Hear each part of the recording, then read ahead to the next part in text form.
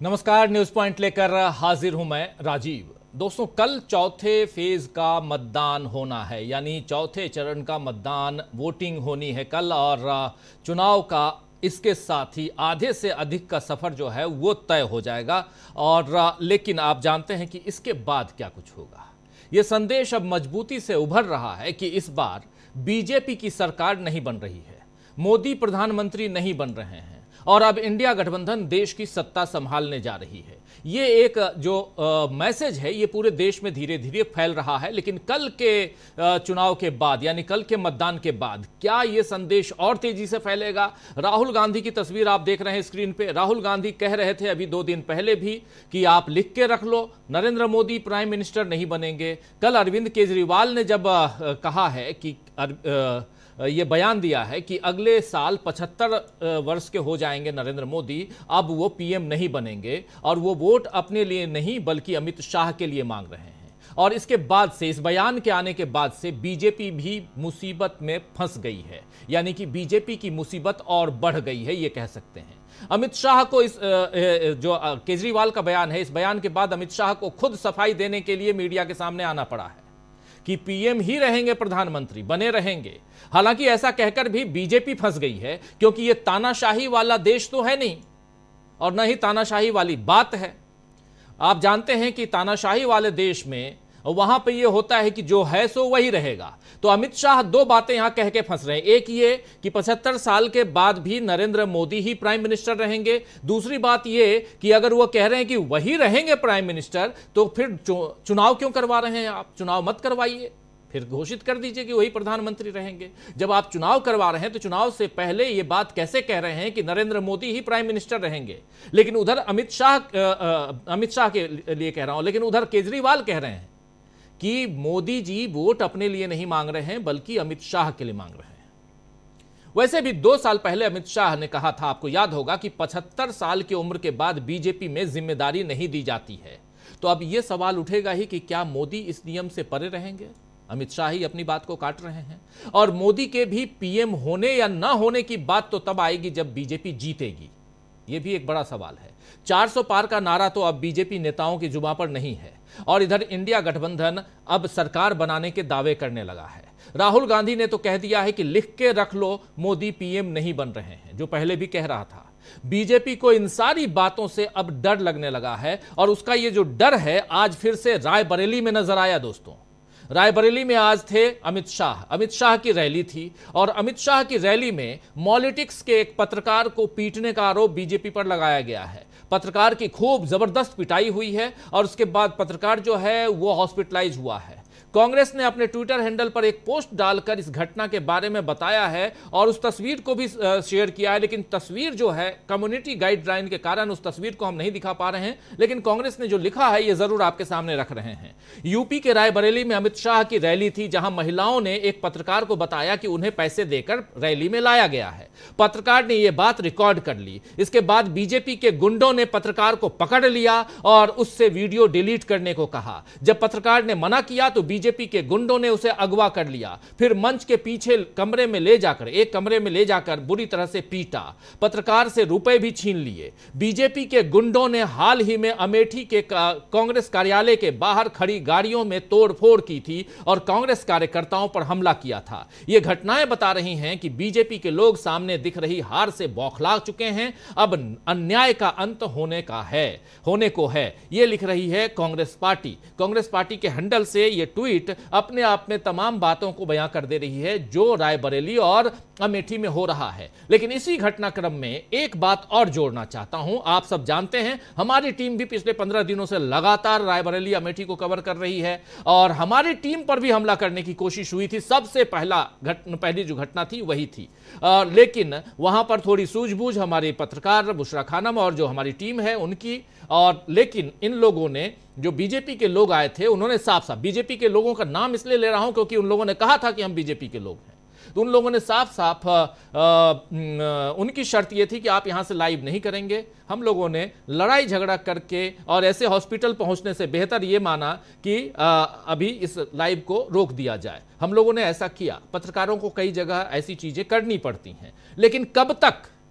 क्या पत्रकार आज सुरक्षित हैं? ये एक बड़ा सवाल उठता है। आज मॉलिटिक्स के पत्रकार के साथ जो हुआ है वो हमारे साथ भी हो सकता है आपके साथ भी हो सकता है। क्या रायबरेली और अमेठी और इसी ढंग से बीजेपी के गुंडों से क्या ये देश पटा हुआ है? ये सवाल पूछना होगा।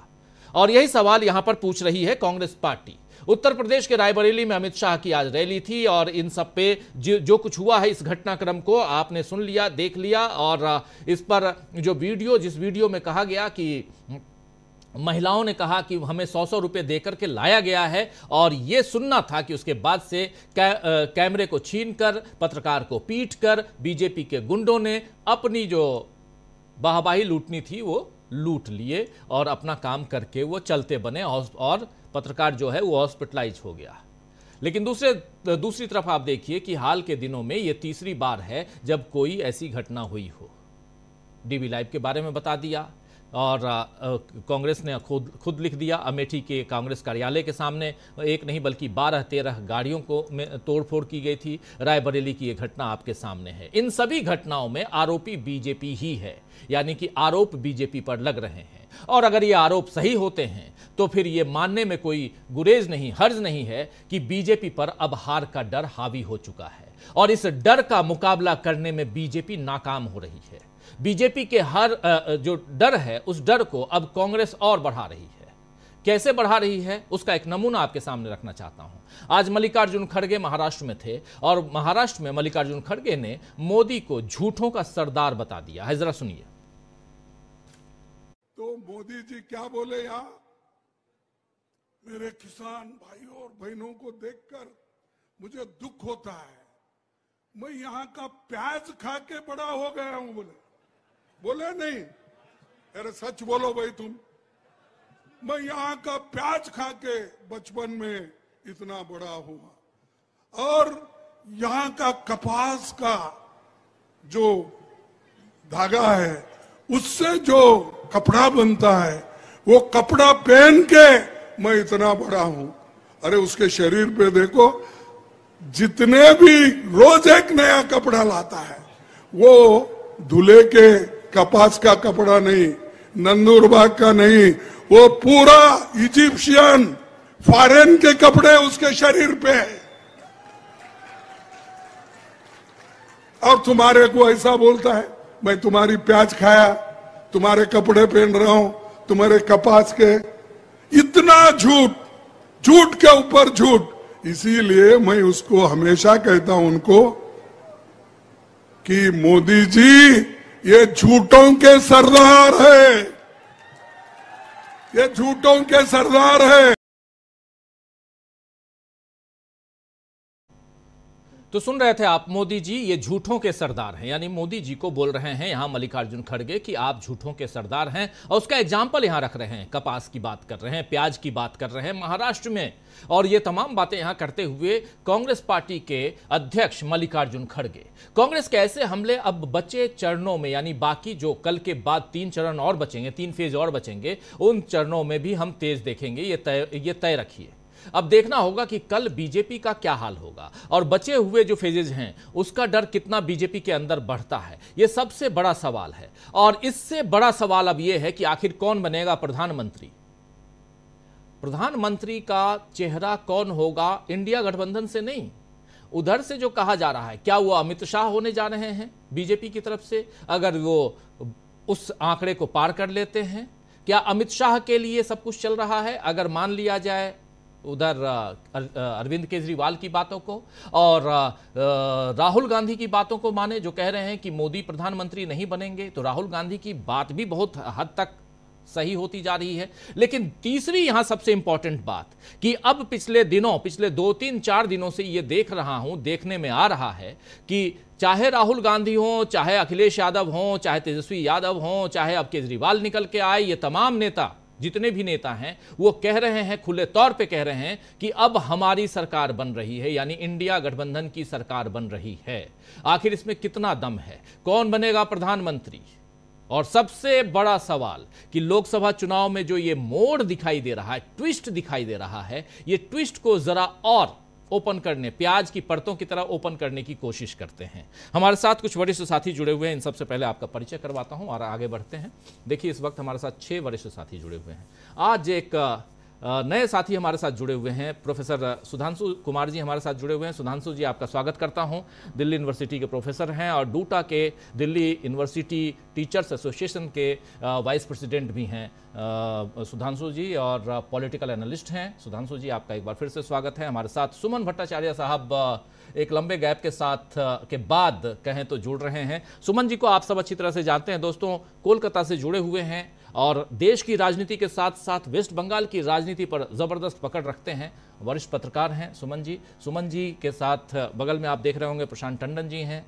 प्रशांत जी का भी स्वागत है। प्रशांत जी के ठीक ऊपर सेम कलर के कपड़े पहने हुए देखिए, दोनों एक साथ हमारे साथी राकेश पाठक जी हैं, डॉक्टर राकेश पाठक प्रेम कुमार जी और मुकेश कुमार सिंह साहब। आप सबका स्वागत है इस्तकबाल है स्वागत है इस्तकबाल आप तमाम दोस्त साथी, शुभचिंतक आप सबका, जो अब तक जुड़ चुके हैं, जो जुड़ने वाले हैं इस कार्यक्रम में। और सीधा आना चाहता हूँ आपके पास प्रेम कुमार जी, आपके पास। प्रेम कुमार जी, कल हम लोग चर्चा कर रहे थे, थोड़ा सा उस चर्चा को आज मैं चाह रहा हूँ कि और बढ़ाया जाए और समझा जाए कि इस देश में अब आगे, आने वाले समय में क्या होने जा रहा है। और कैसे इस लोकसभा चुनाव में रोज हम कुछ ना कुछ ट्विस्ट देख रहे हैं। जरा यहाँ से इस बात को ओपन करें, इस चर्चा को ओपन करें। रोचक दौर में है, चौथा चरण, और मुद्दों की तलाश करते करते, और एक ऐसे दौर, इस दौर की खासियत यह है कि इस दौर में अरविंद केजरीवाल जेल से बाहर हैं, और आने आने वाले बाकी चरण में भी वो बाहर रहेंगे। और अरविंद केजरीवाल जी ने कुछ बातें जनता के जेहन में डालना डालना चाहा है। और देखते तो हम सब है खबर को, लेकिन खबर को दिखाने का तरीका, घटनाओं को दिखाने का तरीका सबका अलग अलग होता है। अरविंद केजरीवाल ने एक बात सामने रखी है कि भाई, ये तो 75 साल की सीमा नरेंद्र मोदी ने ही तय की थी अपनी पार्टी में।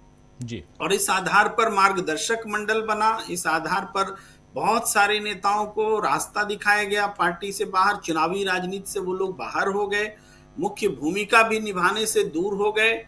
इसके बाद इसके बाद क्या ये पचहत्तर साल वाली नीति जो है, नरेंद्र मोदी को छोड़कर बाकी सब पर लागू होगी? तो इस प्रश्न को उन्होंने रखा। अमित शाह ने, जी, आए अगले दिन ही बल्कि सेम डे ही उन्होंने कहा कि नहीं, नरेंद्र मोदी के लिए ये नहीं है। यानी वो प्रधानमंत्री बनेंगे। भाई प्रश्न उठता है, क्यों नहीं है नरेंद्र मोदी के लिए? जब बीजेपी के तमाम लोगों के लिए पचहत्तर साल की उम्र है, तय तो नरेंद्र मोदी के लिए क्यों नहीं है? क्या एक बार फिर ये बात जुमला साबित होगी? जैसे पंद्रह लाख को जुमला कह दिया गया, और एक साल बाद जब पचहत्तर के हो जाएँगे नरेंद्र मोदी तो अमित शाह को बिठा दिया जाएगा। और फिर कहा जाएगा नहीं नहीं वो तो जुमला था जो हमने चुनाव के समय में कहा था। वास्तव में तो 75 साल के, के प्रति प्रतिबद्ध हैं और नरेंद्र मोदी भी आम कार्यकर्ता हैं। कोई पार्टी में बड़ा नहीं होता है छोटा नहीं होता है। अब सब पचहत्तर में रिटायर हो रहे हैं तो नरेंद्र मोदी भी रिटायर होंगे। जी। ये बात जो है ऐसा नहीं कि अरविंद केजरीवाल ने पहली बार कही है। अरविंद केजरीवाल बहुत पहले भी कह चुके हैं उन्होंने याद भी दिलाया है कि जब वो गृह मंत्री बने थे अमित शाह तो किसी ने नहीं सोचा था कि गुजरात का मुख्य प्रधानमंत्री गुजरात का मुख्यमंत्री, प्रधानमंत्री होंगे तो गुजरात का गृह मंत्री भी आकर के दिल्ली में गृह मंत्री हो जाएँगे। ऐसा किसी ने नहीं सोचा था, लेकिन ये हुआ और इस बात को सबसे पहले अरविंद केजरीवाल ने ही कहा था। तो इसको देखते हुए हम उनकी राजनीतिक सूझबूझ को हम समझते हैं कि उन्होंने सही परखा है और जनता के सामने सही बात रखी है कि ये सारा हवा जो क्रिएट किया जा रहा है, नाम तो नरेंद्र मोदी का सामने है, लेकिन ये वोट दरअसल अमित शाह के लिए मांगा जा रहा है। ये बात सामने आई है। इस यहाँ इतनी दूर तक हम जैसे लोग नहीं सोच पाते थे, लेकिन हमारा मन अब अरविंद केजरीवाल की बात पर विश्वास करने का होता है कि वो जो कह रहे हैं, वो सही कह रहे हैं, ऐसा मुझे लगता है। उसके बाद आप ये भी देखिए कि इस चुनाव में नरेंद्र मोदी बोल तो रहे हैं, लेकिन बुझे बुझे मन से बोल रहे हैं। और ऐसी बातें बोल रहे हैं जिससे खुद बीजेपी का नुकसान हो रहा है। क्या ये अनायास हो रहा है या जानबूझकर कर रहे हैं? क्योंकि अडानी और अंबानी के खिलाफ बोलना, उसके बाद एक दिन के लिए पूरे चुनावी परिदृश्य से गायब हो जाना और फिर आना तो बोले भाले नवीन पटनायक जैसे व्यक्ति को जो इतने समझदार हैं इतने शिक्षित हैं जिनके मुकाबले दूसरे मुख्यमंत्री शायद कोई ना हो शिक्षा के मामले में तो उनको बोलना कि बिना कागज़ के ये जिलों का नाम नहीं बता सकते। और ऐसा कहते हुए जिलों में राजधानी पूछने लग गए वो कि जिलों में राजधानी का नाम वो कैसे बताएँ। तो ये जो वो कह रहे हैं इसमें भी हमें लगता है कि कहीं ना कहीं ये आत्मघाती गोल कर रहे हैं। अब ये सुनियोजित तरीके से कर रहे हैं या बिना सोचे समझे कर रहे हैं। अगर नरेंद्र मोदी जी का दिमाग सही है, उनको उस तरह की नीतीश कुमार वाली बीमारी ना हुई हो, मैं मानता हूँ ना हुई हो तो तब वो ऐसा जानबूझ करके कर रहे हैं, ऐसा माना जाएगा। और अन्यथा अगर नीतीश कुमार जी वाली बीमारी हो गई हो तो बात अलग है। तब तो फिर क्षमा देना पड़ेगा। तो उनको फिर चले ही जाना चाहिए, फिर मार्गदर्शक मंडल में पचहत्तर से पहले ही चले जाना चाहिए। ये सारी स्थितियाँ हैं। ये तो यहाँ तक बात हुई। दूसरी बात है कि मुद्दों पर हम बात करें तो आज तक चार चरण आ गए हैं लेकिन नरेंद्र मोदी जी कोई ऐसा सूत्र वाक्य खोज नहीं पाए हैं जिसके आधार पर जिसको कोई नैरेटिव कह लीजिए जिसको विमर्श कह लीजिए जिस आधार पर वो जनता को कहे कि हमें सत्ता दोबारा दीजिए ऐसा कोई सूत्र वाक्य खोज नहीं पाए हैं। ये सबसे बड़ी जो कमी है, मुझे नहीं लगता कि इतना थिंक टैंक बीजेपी का कमज़ोर हो गया कि एक सूत्र वाक्य नहीं खोज पा रहे कि उनको क्यों दोबारा सत्ता में आना चाहिए। तो ये भी हमें कहीं ना कहीं अंतर्द्वंद जो बीजेपी के बीच है, जो अंतर्द्वंद अमित शाह और योगी के बीच नज़र आता है वही अंतर्द्वंद मोदी और शाह के बीच भी हमें देखने को मिल रहा है। ये हम, हमें साफ़ साफ़ लग रहा है कि आप देख रहे हैं, ऐसे ही नहीं है कि उत्तर प्रदेश में वो वो बात नज़र नहीं आ रही है। योगी आदित्यनाथ में जो पिछले चुनाव में आया करती थी वो उतनी उनकी फ्रीक्वेंसी नहीं है सभाओं की। वहाँ पर विरोध खुलकर प्रकट हुए हैं जातीय विरोध वो भी आचार संहिता लगे रहने के बावजूद।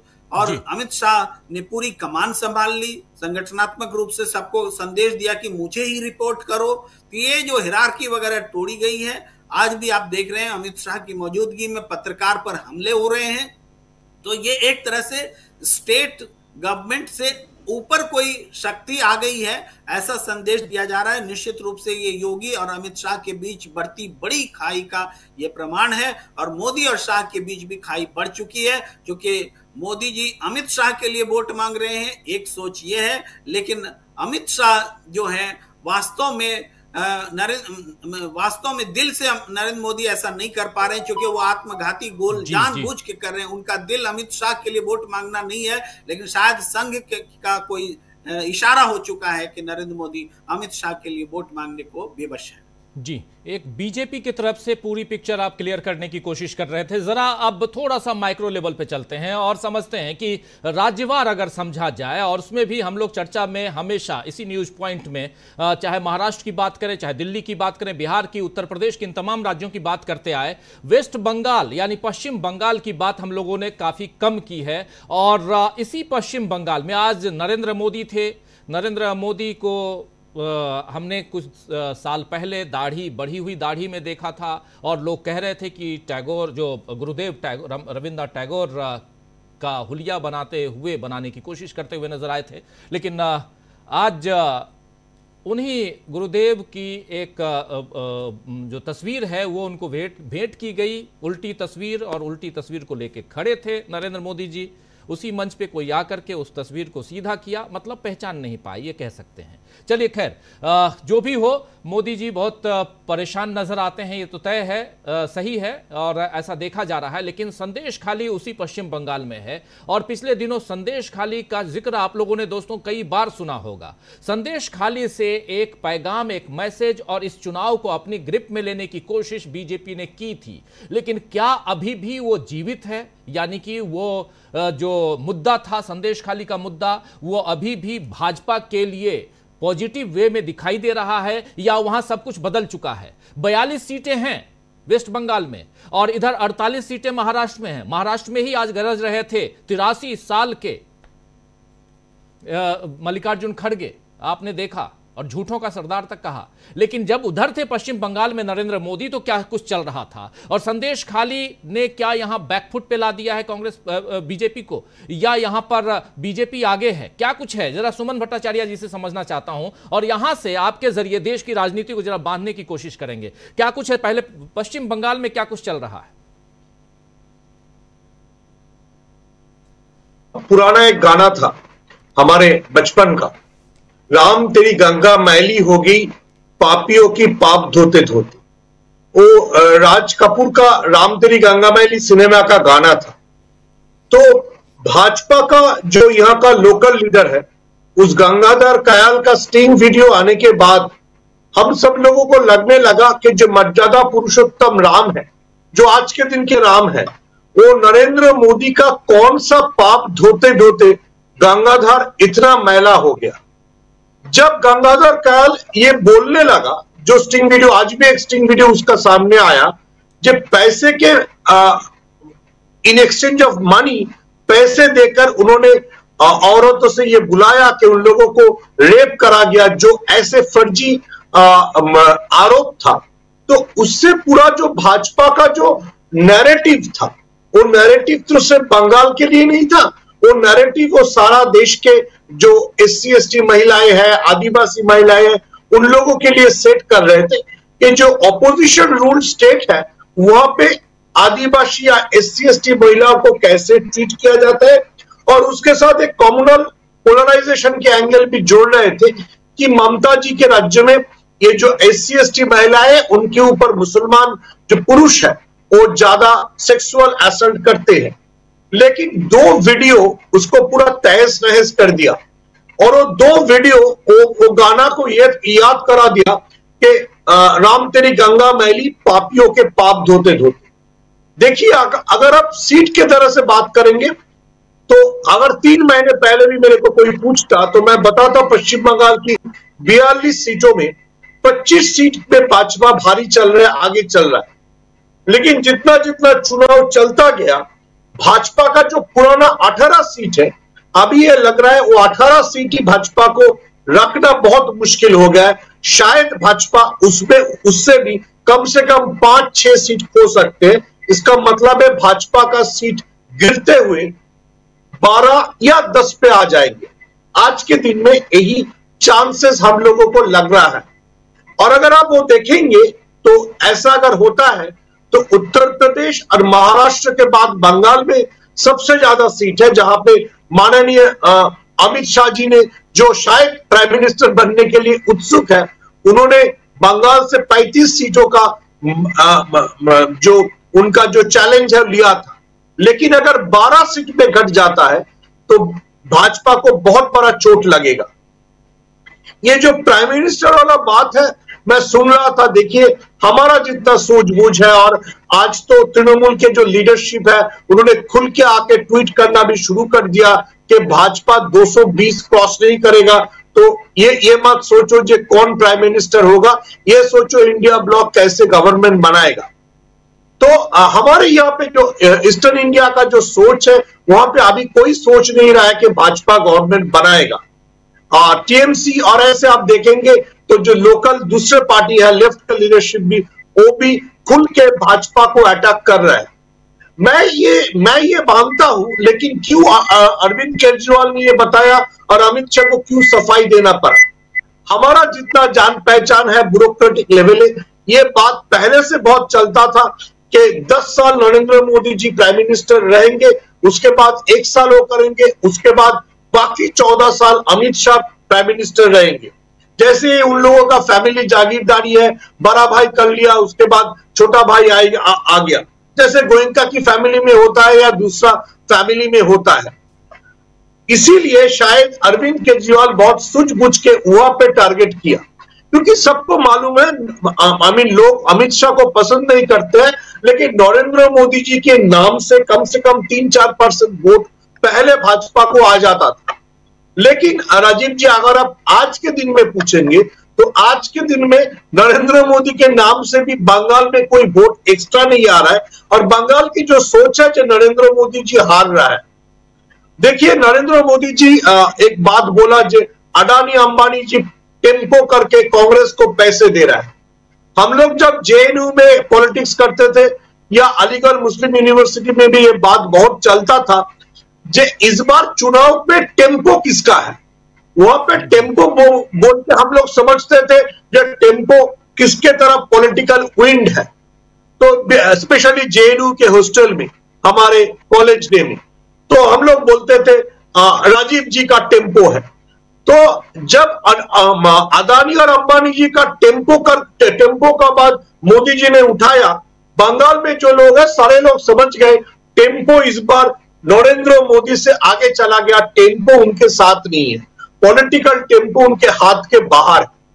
तो ये जो अभी के हालात है आ, कल का जब कल का जो पोल होने जा रहा है जितना जितना पोल आगे बढ़ता जा रहा है बंगाल में भाजपा की जो चैलेंज था जो कोशिश था वो उतना ही नीचे गिरते जा रहा है।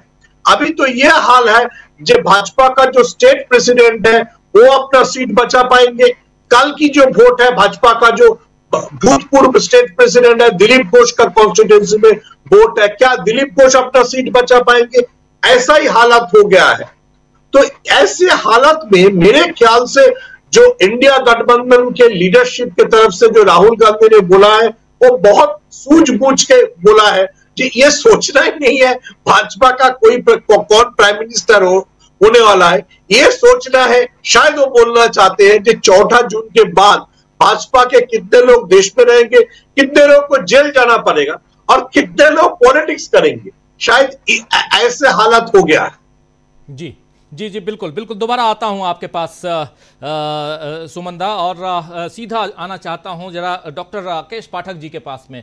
डॉक्टर साहब जरा आपसे भी समझूं। देखिए वेस्ट बंगाल और ये जो बीच वाली पट्टी है, सेंट्रल इंडिया की पट्टी जिसमें मध्य प्रदेश, जहाँ आप बैठे हुए हैं, मध्य प्रदेश, छत्तीसगढ़ और उधर राजस्थान, गुजरात, ये सब, इन सब राज्यों में भी, आप ज़रा उसके तरफ़ भी हम बढ़ें। महाराष्ट्र और बिहार और उत्तर प्रदेश, दिल्ली, इन सब की चर्चा हम कर ही रहे हैं, क्योंकि इधर से ही, महाराष्ट्र से ऊपर का पार्ट जो है, यही पर भाजपा मज़बूत रही है, दो बार से इसी के दम पे सरकार बनाती आई है। अगर यहाँ पर क्या लगता है आपको, कल मध्य प्रदेश में भी चुनाव है बाकी राज्यों में चुनाव खत्म हो गए हैं उसी पट्टी के सेंट्रल पट्टी के। और मध्य प्रदेश में चुनाव है, लेकिन जो खत्म हुए हैं और मध्य प्रदेश के चुनाव खत्म होने वाले के बाद इन राज्यों पे, मध्य प्रदेश पे कोई असर पड़ता हुआ दिखाई दे रहा है। और कल सबसे बड़ी बात है कि इंदौर में भी चुनाव है, शायद जहाँ तक मैं समझ रहा हूँ। तो जरा, डॉक्टर साहब, आप मुझे बताइए, आप मुझे बताइए कि यहाँ अब जो बात सुमन भट्टाचार्य कह रहे हैं कि वेस्ट बंगाल में लोग खुले तौर पे आप कह रहे हैं कि नरेंद्र मोदी प्रधानमंत्री नहीं बनने जा रहे हैं। इंडिया गठबंधन आगे बढ़ती हुई दिखाई दे रही है। ये कह रहे हैं कि जो 18 सीटें थी, वो 18 सीटें नहीं, उसमें भी अब काफ़ी कमी आ जाएगी। 12 10 12 सीटों पे भाजपा अगर रह जाए, ठहर जाए तो बहुत बड़ी बात होगी। संदेश खाली का मामला जो है हाथ से खाली हो गया मतलब निकल गया, छूट गया, कारतूस। तो ऐसे में अब ये एरिया भी क्या प्रभावित होता हुआ दिखाई देता है जहाँ पे आप हैं? और उसमें एक इंपॉर्टेंट बात ये, क्योंकि इंदौर की घटना अपने आप में एक ऐसी घटना है सूरत के बाद, जो इस पूरे लोकतंत्र में एक काले धब्बे की तरह है। और इस देश के लोकतंत्र और यहाँ की चुनाव प्रक्रिया पर हमेशा दुनिया की नज़रें निगाहें टिकी रहती हैं।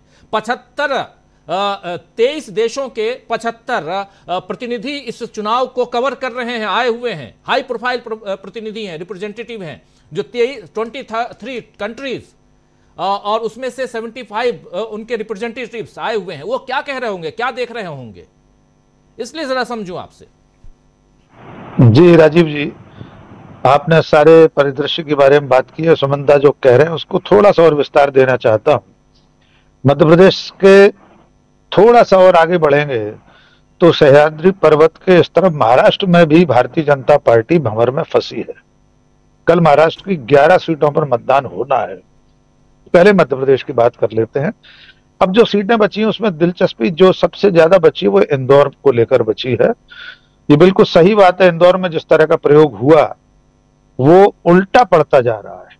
चुनाव नतीजा क्या होगा, हम नहीं जानते, लेकिन नोटा को लेकर जो अभियान वहाँ चला है सिर्फ़ कांग्रेस ने अभियान नहीं चलाया, राजीव जी। वहाँ की सिविल सोसाइटी, सामाजिक कार्यकर्ता छोटे छोटे सामाजिक संगठन, वे सब अभियान चला रहे और इसके पीछे मंशा सिर्फ़ इतनी है कि आपने हमें एक स्वस्थ, लोकतांत्रिक तरीके से अपना प्रतिनिधि चुनने का अवसर नहीं देने की कोशिश की, यानी वो अवसर हमसे छीनने की कोशिश की। इसलिए अब जनता नोटा पर वोट देने का मन बना रही है। निश्चित तौर पर नोटा पर वोट देने से भी कोई फ़र्क नहीं पड़ेगा। हम कल से लगातार इस बारे में बात कर रहे हैं कि हमारे जन प्रतिनिधित्व कानून में जो प्रावधान है, उसके मुताबिक नंबर दो पर अगर नोटा तो एक फिक्शनल इलेक्टोरल कैंडिडेट ये शब्द दिया है चुनाव आयोग ने उसे, काल्पनिक निर्वाचन प्रत्याशी।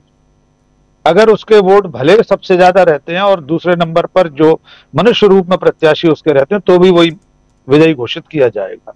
लेकिन इंदौर की जनता आईना दिखाना चाहती है बीजेपी को। क्या आप जिस तरह के धतकर्म कर रहे हैं, इसकी ज़रूरत वैसे भी नहीं थी?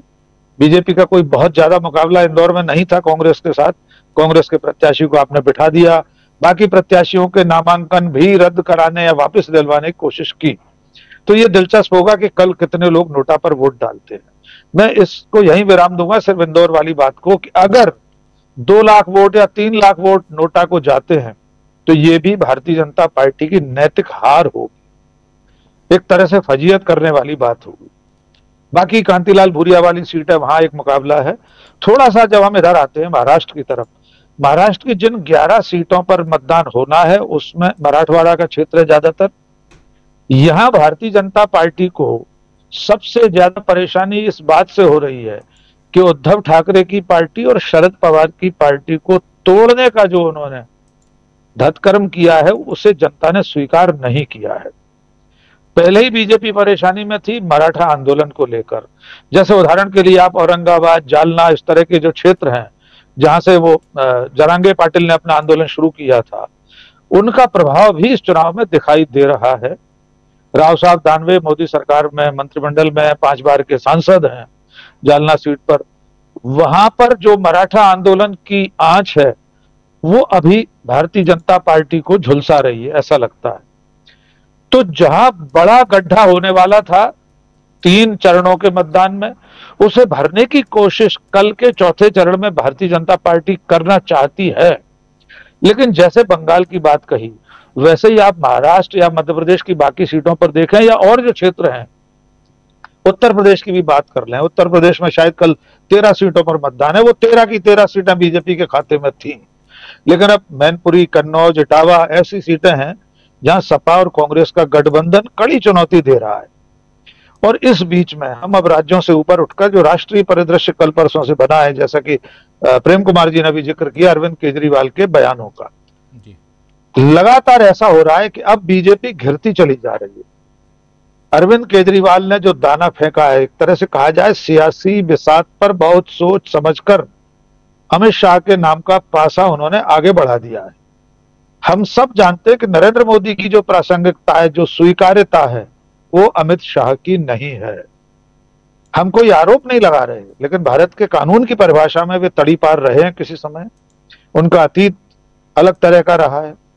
जनता के साथ भी उनका वो रिश्ता नहीं है जो नरेंद्र मोदी का अब तक था। यद्यपि नरेंद्र मोदी का भी अब नहीं रहा तो सत्ता संघर्ष जो भारतीय जनता पार्टी के भीतर उसके अंतपुर में चल रहा है, उसको चिनगारी दिखाने का काम अरविंद केजरीवाल ने कर दिया है। और योगी आदित्यनाथ को दो महीने के अंदर हटा दिया जाएगा। अगर मोदी प्रधानमंत्री बने, ये कहकर उन्होंने एक तरह से मंथरा वाला काम कर दिया है। भरत से पर भी संदेह बुलाया तक नो से जोगे अब योगी आदित्यनाथ उनके समर्थक उनकी भूतपूर्व हिंदू युवा वाहिनी उनके कार्यकर्ता वे चिंतित हो गए होंगे कि कहीं ऐसा ना हो कि मोदी जी तीसरी बार बने और योगी जी को दो महीने में हटा दें। तो इस चौथे चरण की बेला में आज इस पूर्व संध्या में हम बैठे हैं मतदान की। भारतीय जनता पार्टी और नरेंद्र मोदी का रास्ता और कठिन होता जा रहा है और लगातार वे जिन मुद्दों को उठाते हैं वे सब बूमरैंग कर जाते हैं। अंतिम बात राहुल गांधी ने डिबेट की चुनौती जिस तरह स्वीकार की, पहले मंच से उन्होंने कहा, मैं तैयार हूँ हंड्रेड परसेंट, लेकिन मैं जानता हूँ मोदी तैयार नहीं होंगे। उसके बाद जिस भाषा में उन्होंने जस्टिस मदन लोकुर, जस्टिस जयस वर्मा और एन राम साहब को लिखी है, वो चिट्ठी ही अपने आप में पर्याप्त संदेश है, ये बताने के लिए कि मैं या मेरी पार्टी के राष्ट्रीय अध्यक्ष, यानी राहुल गांधी या उनकी पार्टी के राष्ट्रीय अध्यक्ष तैयार हैं, लेकिन इसके बाद जब बीजेपी ने उसका उत्तर इस रूप में दिया कि हु इज़ राहुल गांधी राहुल गांधी है कौन? वो भी उल्टा पड़ गया। अब पूरा सोशल मीडिया बता रहा है राहुल गांधी कौन है। राहुल गांधी वे हैं जो चार बार के सांसद हैं, एक पार्टी के भूतपूर्व राष्ट्रीय अध्यक्ष हैं, चार हज़ार किलोमीटर पद यात्रा, छह हज़ार किलोमीटर वाहन यात्रा। इसके अलावा वे भारत के नागरिक हैं। डॉक्टर राजीव जी, आप अगर चुनौती दें तो देश के प्रधानमंत्री को एक नागरिक के साथ भी विचार विमर्श के लिए तैयार होना चाहिए। लोकतंत्र का तकाजा तो यही है। तो आज सुधांशु त्रिवेदी का जो बयान है इसका जो जवाब दिया है वो भी बूमरैंग कर गया है। तो कल के मतदान के बाद कल शाम को हम जब फिर से बात करेंगे तो देखेंगे कि वो जो टेंपो बना हुआ था पहले चरण से वो वाला टेंपो नहीं जिसमें नोट जाते हैं बोरों भरकर नोटें। एक नया शब्द भी प्रधानमंत्री ने दिया नोटों का बहुवचन नोटें भर भर कर। उसका नहीं लेकिन जो मतदान का टेंपो बना हुआ है अगर वो चौथे चरण में भी ऐसा ही बना रहता है तो शेष बचे तीन चरण में इस गड्ढे को भरना बहुत कठिन हो जाएगा। जी राजीव जी। जी बिल्कुल बिल्कुल। जरा आना चाहता हूँ अब प्रोफेसर सुधांशु कुमार जी के पास में। प्रोफेसर साहब, आपसे ज़रा समझूं, देश के इस चुनावी माहौल में और इसको किस दिशा में आप जाते हुए देख रहे हैं, क्या आपको लगता है कि इस चुनाव के भाषणों में, प्रधानमंत्री के भाषणों में गिरावट आई है।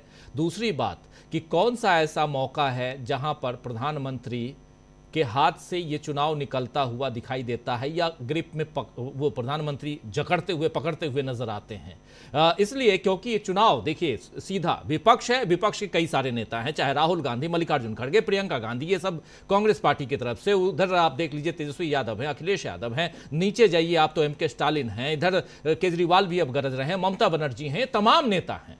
लेकिन इधर बीजेपी लगातार पिछले दस दस साल से एक ही नाम पर चुनाव लड़ती आई है और केजरीवाल साहब ने जो कल कहा है कि अपने नाम पर वोट मांग रहे हैं, नरेंद्र मोदी असल में चुनाव अमित शाह के लिए लड़ रहे हैं। कितना असर इसका हो सकता है? समाज शास्त्र के हिसाब से भी जरा समझना चाहता हूँ और पॉलिटिकल साइंस के हिसाब से भी समझना चाहता हूँ कि इस बात का कितना असर हो सकता है अगर ये जन जन तक पहुँच जाए। दूसरी बात, जो विपक्षी दल हैं, इंडिया गठबंधन है, जो बार बार इस बात को गाँव गाँव तक पहुँचा चुकी है कि संविधान बचाने के लिए, आरक्षण को खत्म होने से रोकने के लिए इस सत्तारूढ़ दल को सत्ता से बाहर करना ज़रूरी है। ये कितना अंदर तक पहुँचा हुआ है? आप विद्यार्थियों के बीच भी रहते हैं, लोगों से मिलते जुलते हैं, जरा आपसे समझो। नहीं, देखिए एक तो सबसे महत्वपूर्ण चीज़ है कि चुनाव में सबसे बड़ी चीज़ क्या होती है कि चुनाव किन मुद्दों पर लड़ा जा रहा है। 2019 का चुनाव दो तीन मुद्दे महत्वपूर्ण थे। उसमें सबसे महत्वपूर्ण अगर अगर जितना जो रिज़ल्ट जिस तरह का आया था वो पुलवामा था चाहे कोई कुछ भी कहते रहे। पुलवामा राष्ट्रवाद और इनका धर्म वाला मामला और साथ में मोदी जी का चेहरा। 2019 में ये चार चीज़ें थी जिसकी ब्रांडिंग भारतीय जनता पार्टी और मोदी जी करके चुनाव लड़ रहे थे और उसका वो रिज़ल्ट था। 24 से आने से पहले भारतीय जनता पार्टी ने कुछ मुद्दे तय किए थे कि 2024 का चुनाव हम इन इन मुद्दों पर लड़ेंगे। उसमें से एक ट्रिपल तलाक का मुद्दा था 370 धारा 370 का मुद्दा था और सबसे बड़ी चीज़ जो उनको लग रही थी कि अंतिम नैया जो है हमारी पार, वो राम मंदिर हमारे नैया पार लगा दे। ये उनके तीन कोर मुद्दे थे और राष्ट्रवाद का और पोलराइजेशन तो वो हमेशा से कॉमनली लेकर चलते हैं, वो चल रहे थे। अब सवाल ये और ये मैं आपको बता रहा हूँ, जब इंडिया गठबंधन बन रहा होगा या जो भी लोग इस चुनाव की प्रक्रिया पर नज़र रख रहे थे, उनको ऐसा लगता ज़रूर था कि ये राम मंदिर का मुद्दा या धारा 370 क्योंकि जब ये चीज़ें हुई थी, उस समय बड़ी इसकी चर्चा हुई तो लोगों को ये ज़रूर लग रहा था ये इतने महत्वपूर्ण मुद्दे हैं, और कई साथियों से आप भी, आप सब भी, और पत्रकार बंधु हो प्रोफेसर हो, इनके बीच ये था कि अरे, इन्होंने राम मंदिर बना दिया है तो चुनाव तो इनकी इनके हिसाब से होने वाला है और बहुत अच्छा रिएक्शन आएगी जनता। पर जब जैसे जैसे चुनाव नज़दीक आता गया, आप देखेंगे ये सारे मुद्दे लगभग पीछे छूट गए और अब मुद्दा वो नहीं है और सबसे इस, देखिए, जितनी चर्चा हुई होगी, लेकिन इस चुनाव का एक जो सबसे महत्वपूर्ण इस चुनाव की बात है, एजेंडा सेटिंग कौन कर रहा है? एजेंडा इस बार प्रधानमंत्री जी सेट नहीं कर रहे हैं। इस बार एजेंडा इंडिया गठबंधन सेट कर रहा है। इस बार एजेंडा राहुल गांधी सेट कर रहे हैं। आप देखिए अखिलेश यादव ने पीडीए का नारा दिया। राहुल गांधी लगातार जो है जो अपने पाँच न्याय की बात कर रहे हैं उसमें जो है भागीदारी न्याय उनका जो एक महत्वपूर्ण मुद्दा है। और उसके पीछे पीछे अब बीजेपी और प्रधानमंत्री भाग रहे हैं। वो काउंटर कर रहे हैं। पहले क्या होता था कि प्रधानमंत्री मुद्दे उछालते थे और विपक्ष के लोग उसको उसका काउंटर खोजने में लगे रहते थे कि भाई अब हम इनका क्या काउंटर निकालें? पर इस बार का चुनाव यह है कि इंडिया गठबंधन मुद्दा सामने रख रहा है। जनता उसके प्रति आकर्षित हो रही है, जनता उस तरफ़ जुड़ती जा रही है और फिर इनको घबराहट में नरेंद्र मोदी जी सफ़ाई देते फिर रहे हैं। आपको एक उदाहरण देता हूँ। इलेक्ट्रॉल बॉन्ड का मुद्दा आया। इलेक्ट्रॉल बॉन्ड के ऊपर जब लगातार बयानबाजी हो रही थी तो आम दिन होता तो नरेंद्र मोदी कोई रिप्लाई नहीं करते। आप याद करके देखिए, अडानी प्रकरण में पूरा पार्लियामेंट सेशन धुल गया।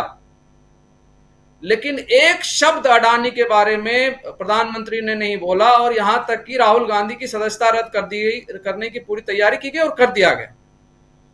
लेकिन इलेक्ट्रोल बॉन्ड के मुद्दे पे इनको सफ़ाई देनी पड़ी। इन्होंने खुद से पत्रकारों को पत्रकार को बुला के अपना एक जो है प्रेस कॉन्फ्रेंस नहीं, लेकिन अपना एक इंटरव्यू दिया और सफ़ाई दी इलेक्ट्रोल बॉन्ड के मुद्दे पे। क्योंकि उनको ये पता था कि अब मेरे ऊपर ये आरोप चिपक रहा है। अब तक मैं बेदाग प्रधानमंत्री के रूप में काम कर रहा था और जनता उस पर भरोसा कर रही थी। पर यह स्पष्ट होने लग गया है कि इलेक्ट्रोल बॉन्ड के मुद्दे में भागीदारी है हम प्रधानमंत्री जी उसके भागीदार हैं और हैं इस बात को जनता मान रही इसलिए उन्होंने आकर सफ़ाई दी। पहली चीज़ वहाँ पर सफ़ाई दी। दूसरा महत्वपूर्ण मुद्दा बन गया, जी ये आरक्षण खत्म कर देंगे और संविधान खत्म कर देंगे।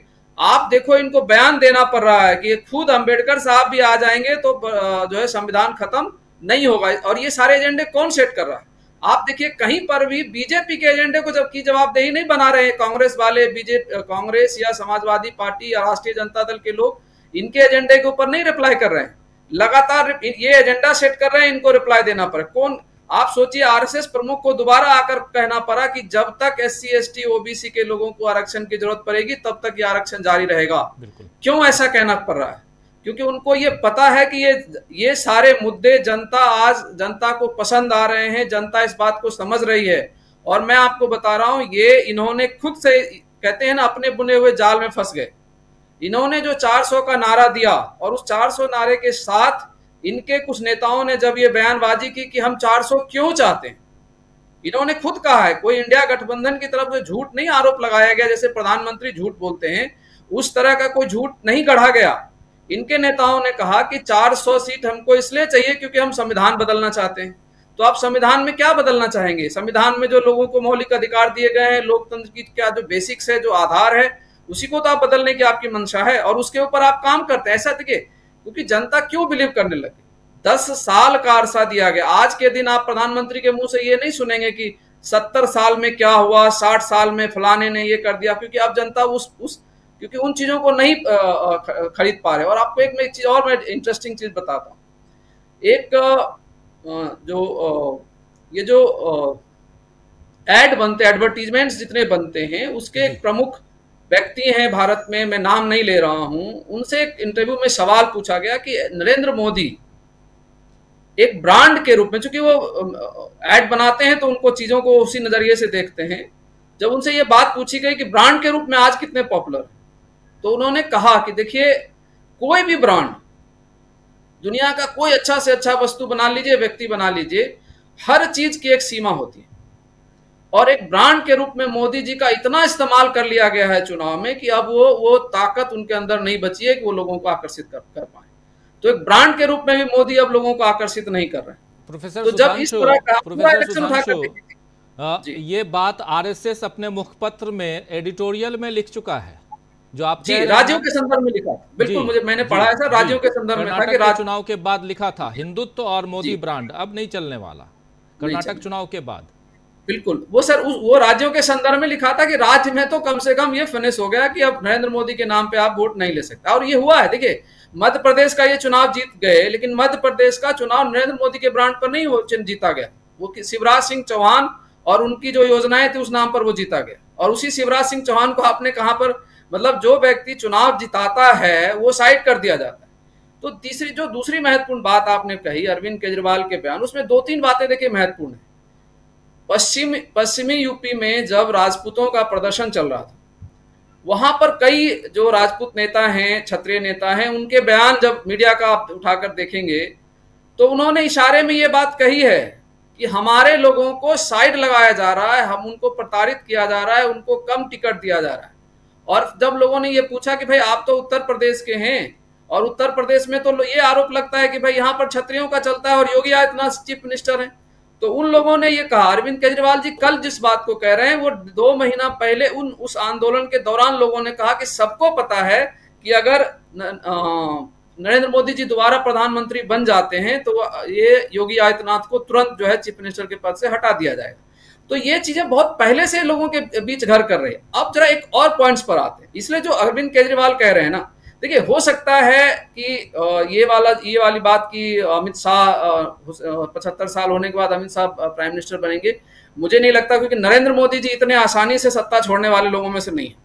ठीक है और उनके खिलाफ अगर कोई जाने की कोशिश करेगा तो वो अमित शाह भी अगर होगा तो उनको बहुत देर नहीं लगेगी उनका भी ठीक ठाक जगह पे उनको ले जाने का। तो खैर ठीक है अभी चुनाव है वो लेकिन ये मैं आपको ज़रूर बताऊँ कि अरविंद केजरीवाल के छूट कर आने के बाद और 21 दिन उनको चुनाव प्रचार करने का जो अवसर मिला है तो वो बहुत सारे एजेंडे वो भी सेट करेंगे। जो अन्य लोग इसके पहले रा, राहुल गांधी तेजस्वी यादव अखिलेश यादव मायावती उद्धव ठाकरे ये लोग जो कर रहे हैं उसमें ये उसको प्लस करने वाले हैं और इनकी एक मास अपील है तो जनता के बीच उसका असर भी होने वाला है। एक चीज़ और जो महत्वपूर्ण है उस चीज़ की तरफ़ हमारा ज़रूर ध्यान देना चाहिए कि मुद्दे चल क्या कर रहे हैं इस इलेक्शन में। देखिए कोई कुछ भी कह ले दस साल के बाद जवाबदेही बनता है। कोई भी आम नागरिक इतना अंधा नहीं हो गया है इतना वो ना समझ नहीं हो गया कि उसको अपने रोज की पीड़ा महँगाई बेरोजगारी या अन्य चीज़ें नहीं दिखाई पड़ती। जब उनके घरों में जो समस्या पहुँच रही है तो उसका वो रिएक्शन करेंगे। और आज के दिन पूरे उत्तर प्रदेश में छोटे से आप कोई सा भी इंटरव्यू उठाकर देख लीजिए। अगर दस लोग वहाँ पर बात करने के लिए आते हैं और चार चार युवा आते हैं तो फट से इस सवाल को कह देता है कि पेपर लीक क्यों हो रहे हैं? पेपर लीक क्यों हो रहे हैं और पेपर लीक क्यों हो रहे हैं? उसके वो अभी मैं देख रहा था एक, एक युवा पूछ रहा था कि भाई योगी आदित्यनाथ तो कहते हैं कि बहुत अच्छे शासक हैं जी पूरे सारे अपराधियों को खत्म कर दिया पूरा अपराध मुक्त हो गया है उत्तर प्रदेश। तो ये लोग कौन है जो पेपर लीक करा देते हैं? और पेपर लीक जब हो जाता है तो फिर उन, उनके साथ कुछ होता क्यों नहीं है? इसका मतलब क्या है? सरकार की मंशा नहीं है रोज़गार देने की। तो आज के दिन, और आप एक चीज़ देखेंगे कि क्या वादा किया जा रहा है। इन, इनके जो जो इंडिया गठबंधन का जो घोषणा पत्र है, भारत का युवा आज के दिन भी सरकारी नौकरी उसके कैरियर में सबसे बड़ी प्रायोरिटी होती है।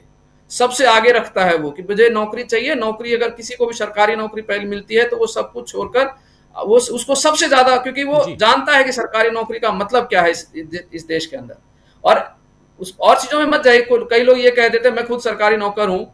लोग आरोप लगा देते हैं फट से कि भाई सरकारी नौकरी में इसलिए जाना चाहते हैं कि आराम तलबी ऐसा कुछ भी नहीं है। मैं दिल्ली विश्वविद्यालय में पढ़ाता हूँ और मैं बड़े दावे से कह सकता हूँ कि दिल्ली विश्वविद्यालय के सामने कोई प्राइवेट यूनिवर्सिटी और कॉलेज खड़ा होकर दिखा दे तो मैं बताऊँ। खैर उस चीज़ पे हम नहीं जाते। जी, जी, जी, लेकिन पाँच लाख नौकरी तेजस्वी यादव ने सत्रह महीने में देकर दिखा दिया। और जो नया एजेंडा है सबके सामने कि भाई अगर सरकार इंडिया गठबंधन की बनती है तो तीस लाख नौकरी, एक दो की बात नहीं हो रही है, तीस लाख नौकरी। आपको बताऊँ, आज के दिन पूरे केंद्र सरकार में मात्र तैतीस लाख नौकरी है, सरकारी नौकरियाँ मात्र तैतीस लाख है। मतलब आज जितने सरकारी नौकर हैं इस देश में केंद्रीय कर्मचारी, उसका उसकी संख्या डबल होने वाली है, ये वादा किया जा रहा है। तो आप सोचिए कितना बड़ा उपक्रम है और कोई भी युवा इतना बेवकूफ़ नहीं है पढ़ने लिखने के बाद वो उसका अगला टारगेट है कि उसको जीवन में नौकरी मिलेगा और नौकरी मिलेगी तभी उसके जीवन में स्थायी आएगा जी। तो मुद्दे महत्वपूर्ण हो गए और उसके आधार पर चाहे कोई भी कुछ कहता रहे अंडर करेंट इनके खिलाफ बना हुआ है और इसीलिए ये जो बयानबाजियाँ इनकी हो रही है नरेंद्र मोदी जी की ये कुछ जो अनाप शनाप और कुछ भी बोलते जा रहे हैं जिस अडानी के अडानी के रथ पर चढ़कर गुजरात से आकर प्रधानमंत्री आप याद करिए वो जो है अडानी का ही रथ है जिस पर चढ़कर वो आ रहे हैं और प्रधानमंत्री पद की शपथ ले रहे हैं। आज उनको उसके राहुल गांधी दिखा रहे थे तस्वीर दिखा रहे थे और जिसको कट किया ये सारा एजेंडा सेट है और चीज़ें बहुत अंडर करेंट चल रही है इनको समझ में आ रहा है इनको रिपोर्ट मिल रही है इसलिए इस तरह की बयानबाजियाँ हो। जी, बयानबाजियाँ और बयानबाजियों के बीच में जो ज़मीनी हकीकत, वो क्या है? एक तरफ़ बयानबाजियाँ होंगी क्योंकि पॉलिटिकल पार्टीज़ हैं, सबको इस चुनाव में अपनी पकड़ मज़बूत करनी है, जीत हासिल करनी है तो बयानबाजियाँ होंगी। लेकिन रिपोर्ट, ग्राउंड रिपोर्ट क्या कह रही हैं? और उसके साथ साथ हम यहाँ जो हमारे छह विश्लेषक, साथ में मैं हूँ और आप तमाम साथी जो कमेंट बॉक्स में कमेंट लिख रहे हैं और आप सब मिलकर ये ज़रूर आज की तारीख में भापने की कोशिश करें। कि आखिर ये चुनाव जा किधर रहा है? आना चाहता हूँ जल्दी से। प्रशांत टंडन जी आपके पास, फिर आता हूँ मुकेश जी के पास में। और इस चर्चा को आगे बढ़ाते हैं। प्रशांत जी, बहुत सारी बातें भी आप बहुत गंभीरता से सुन रहे हैं। आपसे भी समझना चाहता हूँ कि प्रधानमंत्री कौन बनेगा ये मायने नहीं रखता, लेकिन मायने ये ज़रूर रखता है कि राहुल गांधी हो, तेजस्वी यादव हो, अखिलेश यादव हो, ममता बनर्जी हो या अरविंद केजरीवाल हो, ये सब ये कह रहे हैं कि नरेंद्र मोदी प्रधानमंत्री नहीं बनेंगे। ये जो बात है ये कितना इंपॉर्टेंट है इस पूरे चुनाव में? क्योंकि एक नेरेटिव ये भी सेट है। संविधान आरक्षण और रोज़गार ये मसले तो हैं ही। साथ साथ ये प्रधानमंत्री नहीं बनेंगे इसको कैसे देखा जाए? पोलिंग के बाद जी। तीन सौ पचहत्तर से ऊपर लोकसभा सीटें तय हो जाएँगी। काफ़ी बड़ा चुनाव ऑलरेडी हो चुका है। और दो सीटों का चुनाव ऑलरेडी हो चुका है। और अब ये बात प्लस एक तिरासी कह दीजिए। दो सौ तिरासी हाँ, जोड़ लीजिए एक सूरत। सूरत को भी जोड़ दे जहाँ चुनाव नहीं हुआ। जी। जहाँ के लोग वो काली शाही लगाने से वंचित रह गए उंगली पर। लेकिन इतना चुनाव हो जाने के बाद अब आप देखिए कि नरेंद्र मोदी एक कोई एजेंडा सेट नहीं कर पा रहे। मैं जैसा प्रोफेसर साहब कह रहे थे प्रोफेसर सुधांशु जी, कि प्रधानमंत्री नरेंद्र मोदी कोई भी एक रोड मैप नहीं पेश कर पाए। और मैं 2014 से लेके अब तक की बात कर रहा हूँ। नरेंद्र मोदी साहब का फेलियर क्यों रहा? क्यों ये सवाल खड़ा हो गया? फेलियर क्या रहा? देखिए, वो नारों पर चुनाव जीत कर आए थे। अब की बार ये सरकार, अब की बार वो सरकार। वो सरकार मोदी की चुनी कम गई थी यूपीए को हराया था लोगों ने, अन्ना आंदोलन था तमाम बातें थी। सरकार में आ गए नारों के बल पे। लेकिन आज तक पॉलिसी इंटरवेंशन देखिए, सरकार का काम नीतियों के, नीतियों और कानून बनाने का होता है। पॉलिसी इंटरवेंशन में सरकार कोई भी नया काम नहीं कर पाई। कोई रोड मैप नहीं है, आज भी रोड मैप नहीं है। ये देश ट्वेंटी फ़र्स्ट सेंचुरी में मंगलसूत्र उठा ले जाएँगे, भैंस चोरी कर लेंगे। इससे भारत का लोकतंत्र, आप खुद ही कहते हैं कि लोकतंत्र का मतलब मदर ऑफ़ डेमोक्रेसी है। मदर ऑफ़ डेमोक्रेसी में चुनाव का मुद्दा भैंस है मंगलसूत्र है, मुसलमान है। तो इस देश में राजीव जी, तीस तीस करोड़ के लगभग मिडिल क्लास है। और इससे भी दुगने लगभग जो है, वो एस्पायरिंग मिडिल क्लास है। और ये ये जो लगभग 80 करोड़ की जनता है, ये, इसको नीतियाँ चाहिए, ये, इसको भविष्य का एक रोड मैप चाहिए। जो प्रोफेसर साहब कह रहे थे कि लोगों को नौकरियाँ, रोज़गार, ये चाहिए। अब आपको केवल केवल नारे देकर दस साल से आप लोगों को बेवकूफ़ नहीं बना सकते। और यही कारण है राजीव जी कि आज एक बीजेपी का विज्ञापन,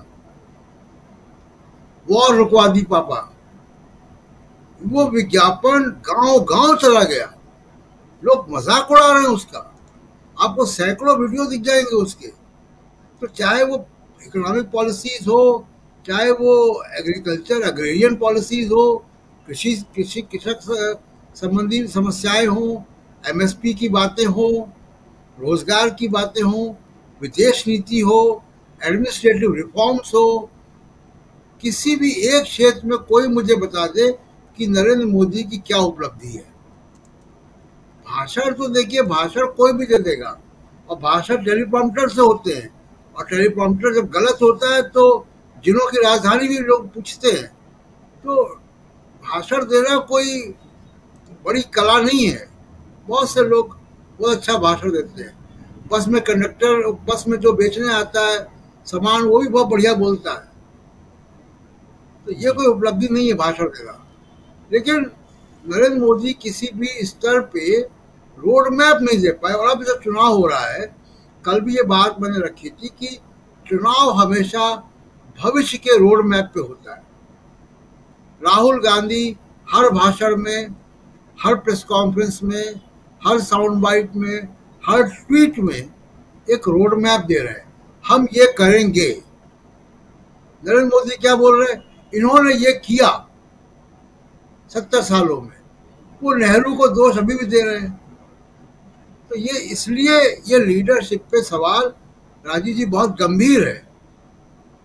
मैं कोई अब इंटरप्रिटेशन के आधार पर नहीं बोल रहा हूँ। मैं तो सूत्रों के आधार पर बोल रहा हूँ कि बहुत गंभीर है और बहुत एक आप जानते हैं कि एक चर्चित आरएसएस के व्यक्ति थे गुजरात में जिनको साइडलाइन कर दिया गया। मैं अभी आपको बता दूँ कि उनकी दोबारा एंट्री होने की बातें हो रही हैं। बहुत कुछ बड़े फेरबदल मतलब होने हैं। बाईस साल बाद एंट्री होगी। जी तो वो उनकी एंट्री एक संदेश देगी। जी। तो बहुत कुछ बीजेपी के अंदर आरएसएस के अंदर मंथन चल रहा है। तो ऐसे ही देखिए अरविंद केजरीवाल ने एक बात कही थी जिसको अमित शाह बड़ी मज़ाक में हँसी में उड़ा सकते थे कि या आप अपनी पार्टी देखो भाई आप अभी जेल से आए हो फिर वापस आपको जेल जाना है। आप उसको हँसी में उड़ा सकते थे। अमित शाह ने उसको गंभीरता से उसको रिस्पॉन्ड किया। तो रिस्पॉन्ड किया का मतलब है कि बात कहीं है। और ये सवाल बहुत गंभीर सवाल है। और कल भी राजीव जी कहा था ये सवाल की चर्चा हम लोग तो चार अप्रैल को अपने पॉडकास्ट में कर चुके थे। जी। तो निश्चित तौर पे बीजेपी और आरएसएस इस बात पे विचार कर रहा है कि वो कौन नेता होगा जो अगर 20-30 सीटें कम होती हैं तो उसको आगे किया जाए। अभी तो ये है। और उसके बाद भी अगर स्थिति खराब होगी, उससे भी ज़्यादा तो बहुत तेज़ी से सवाल खड़े होंगे। और अभी राजीव जी, मैं कहता हूँ, अरविंद केजरीवाल तो विपक्ष के हैं। चौथे फ़ेज़ के बाद से आपको बीजेपी के अंदर से ये आवाज़ें सुनाई देंगी। राजीव जी। कल शाम को इस पर चर्चा करेंगे हम लोग।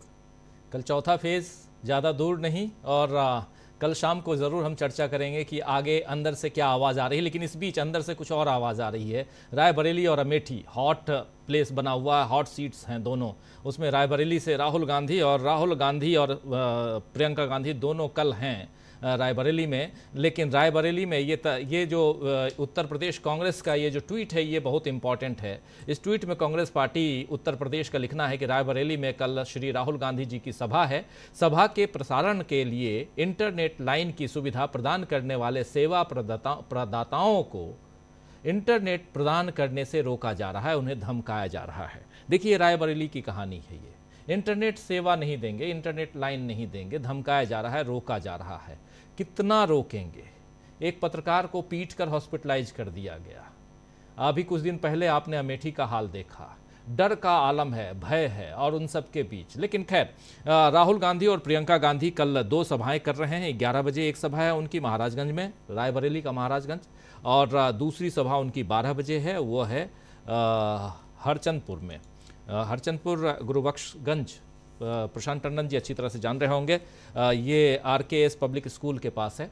हम्म, वहाँ पे है। तो दो सभाएँ हैं राहुल गांधी और प्रियंका गांधी। दोनों की सभा है। अंतर जीत के अंतर को बढ़ाना मात्र उद्देश्य है और वहाँ के जितने लोगों से बात कीजिए वो यही कहते हैं कि राहुल गांधी तो एक तरफा जीत रहे हैं। आना चाहता हूँ लेकिन मुकेश कुमार सिंह साहब आपके पास। हमारे तमाम पाँच साथियों की बात आप सुन रहे थे।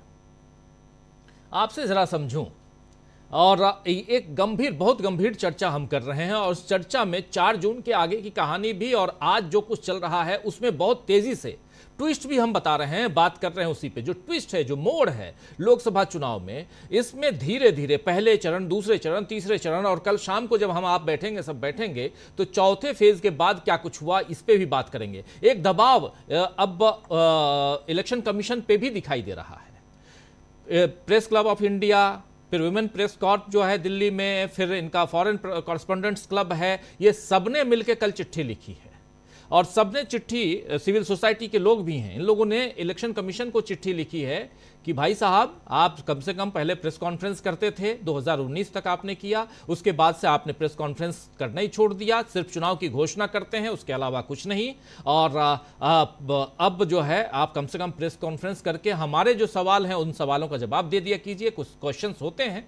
वो उसका जवाब दीजिए। ये सारी चीज़ें आप तक पहुँच चुकी हैं, ज़्यादा बताने की ज़रूरत नहीं है। लेकिन क्या आपको लगता है कि चुनाव एक ग्रिप में विपक्ष और उसके साथ साथ सिविल सोसाइटी ने भी एक ग्रिप में लेने की कोशिश, जागरूकता पैदा करने की कोशिश, कोई दबाव बनाने की बात नहीं है।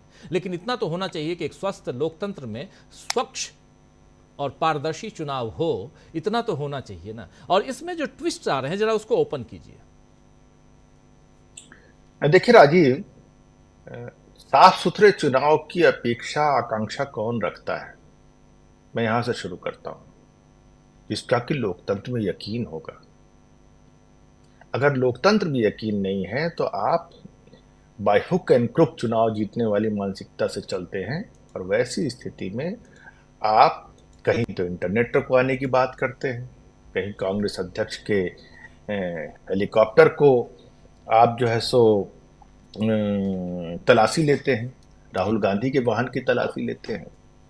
कोई आपसे कहता है कि भाई साहब आप तो आपसे तो कोई चर्चा ही नहीं हो पाती आप कभी बात ही नहीं करते प्रेस कॉन्फ्रेंस में। और कहने वाले लोग कौन हैं? मोदी जी और उनकी पार्टी के नज़र में इस देश में जो भी थोड़े से सम्मानित लोग हैं वो सब चंगू मंगू हैं। सुप्रीम कोर्ट के जज रह चुके हैं जस्टिस मदन लोकुर। दिल्ली हाई हैं जस्टिस ए पी शाह और एन राम हिंदू के संस्थापक संपादक हैं। जो समय समय पे एन राम के की, की बहुत बड़ी प्रसिद्धि थी बफोर्स मामले में उन्होंने खूब कांग्रेस की सरकार पर अटैक किए थे। वो एक डेमोक्रेटिक आदमी है एक लिबरल सोच के आदमी। ये लब्ध प्रतिष्ठित लोग हैं हिंदी में इन्हें नाउन प्रतिष्ठित। आपसे कहा आमने सामने तुम्हें हम मंच प्रोवाइड कराते हैं। वजह क्या थी?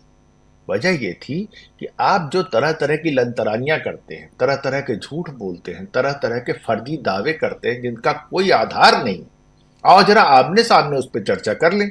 अभी तो आप मंच पे खड़े होते हैं। आप बोल रहे हैं, दुनिया सुन रही है।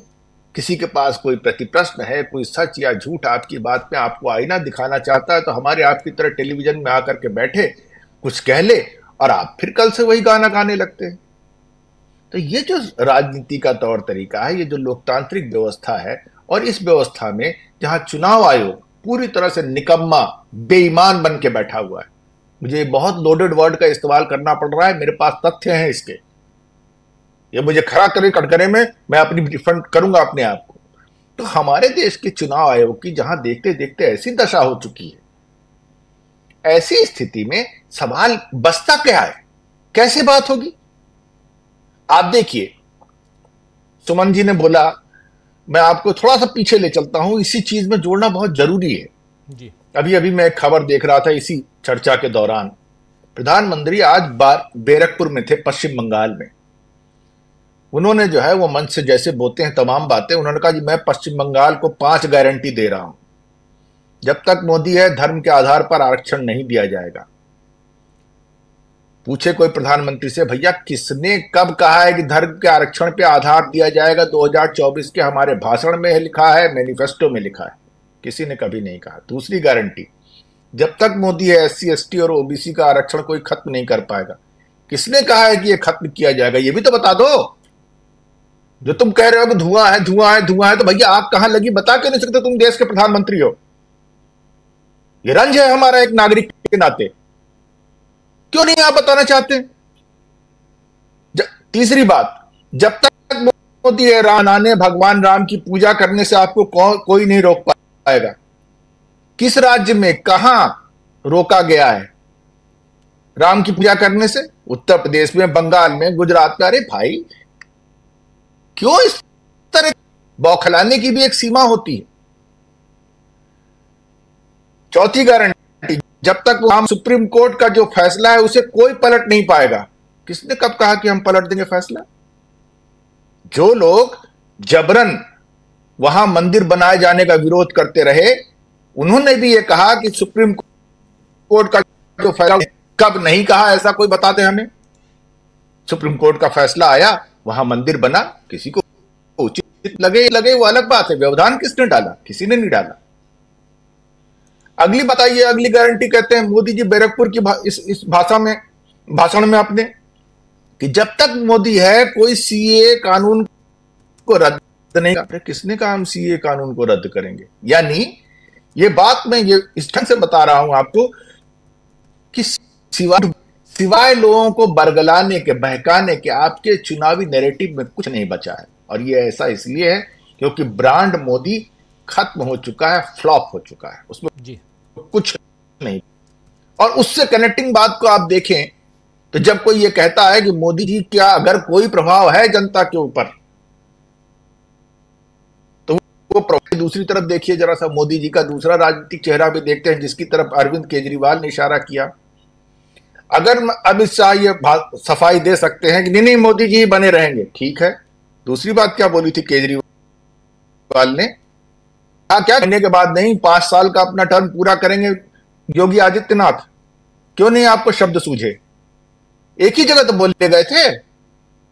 जिन लोगों ने जानकारी दी, उन्होंने क्या ये नहीं बताया कि साहब, ये आपको प्रधानमंत्री बनाने की बात करें हैं? देखिए देखिए देखिए देखिए बोल रहे वीडियो थोड़ा आपका डाउन हो रहा है। रोकना चाहते हैं मुझे। जी जी वीडियो डाउन हो रहा है आपका। थोड़ा वीडियो बीच बीच में कट रहा है लेकिन थोड़ा लिए चलता हूँ। थोड़ा सा आपका वीडियो भी ठीक करें और इस वक्त राहुल गांधी युवाओं के एक सम्मेलन को संबोधित कर रहे हैं। जरा एक छोटा सा सीधे लाइव ले चलते हैं कि राहुल गांधी वहाँ कह क्या रहे हैं? युवाओं की बात अभी हो भी रही थी।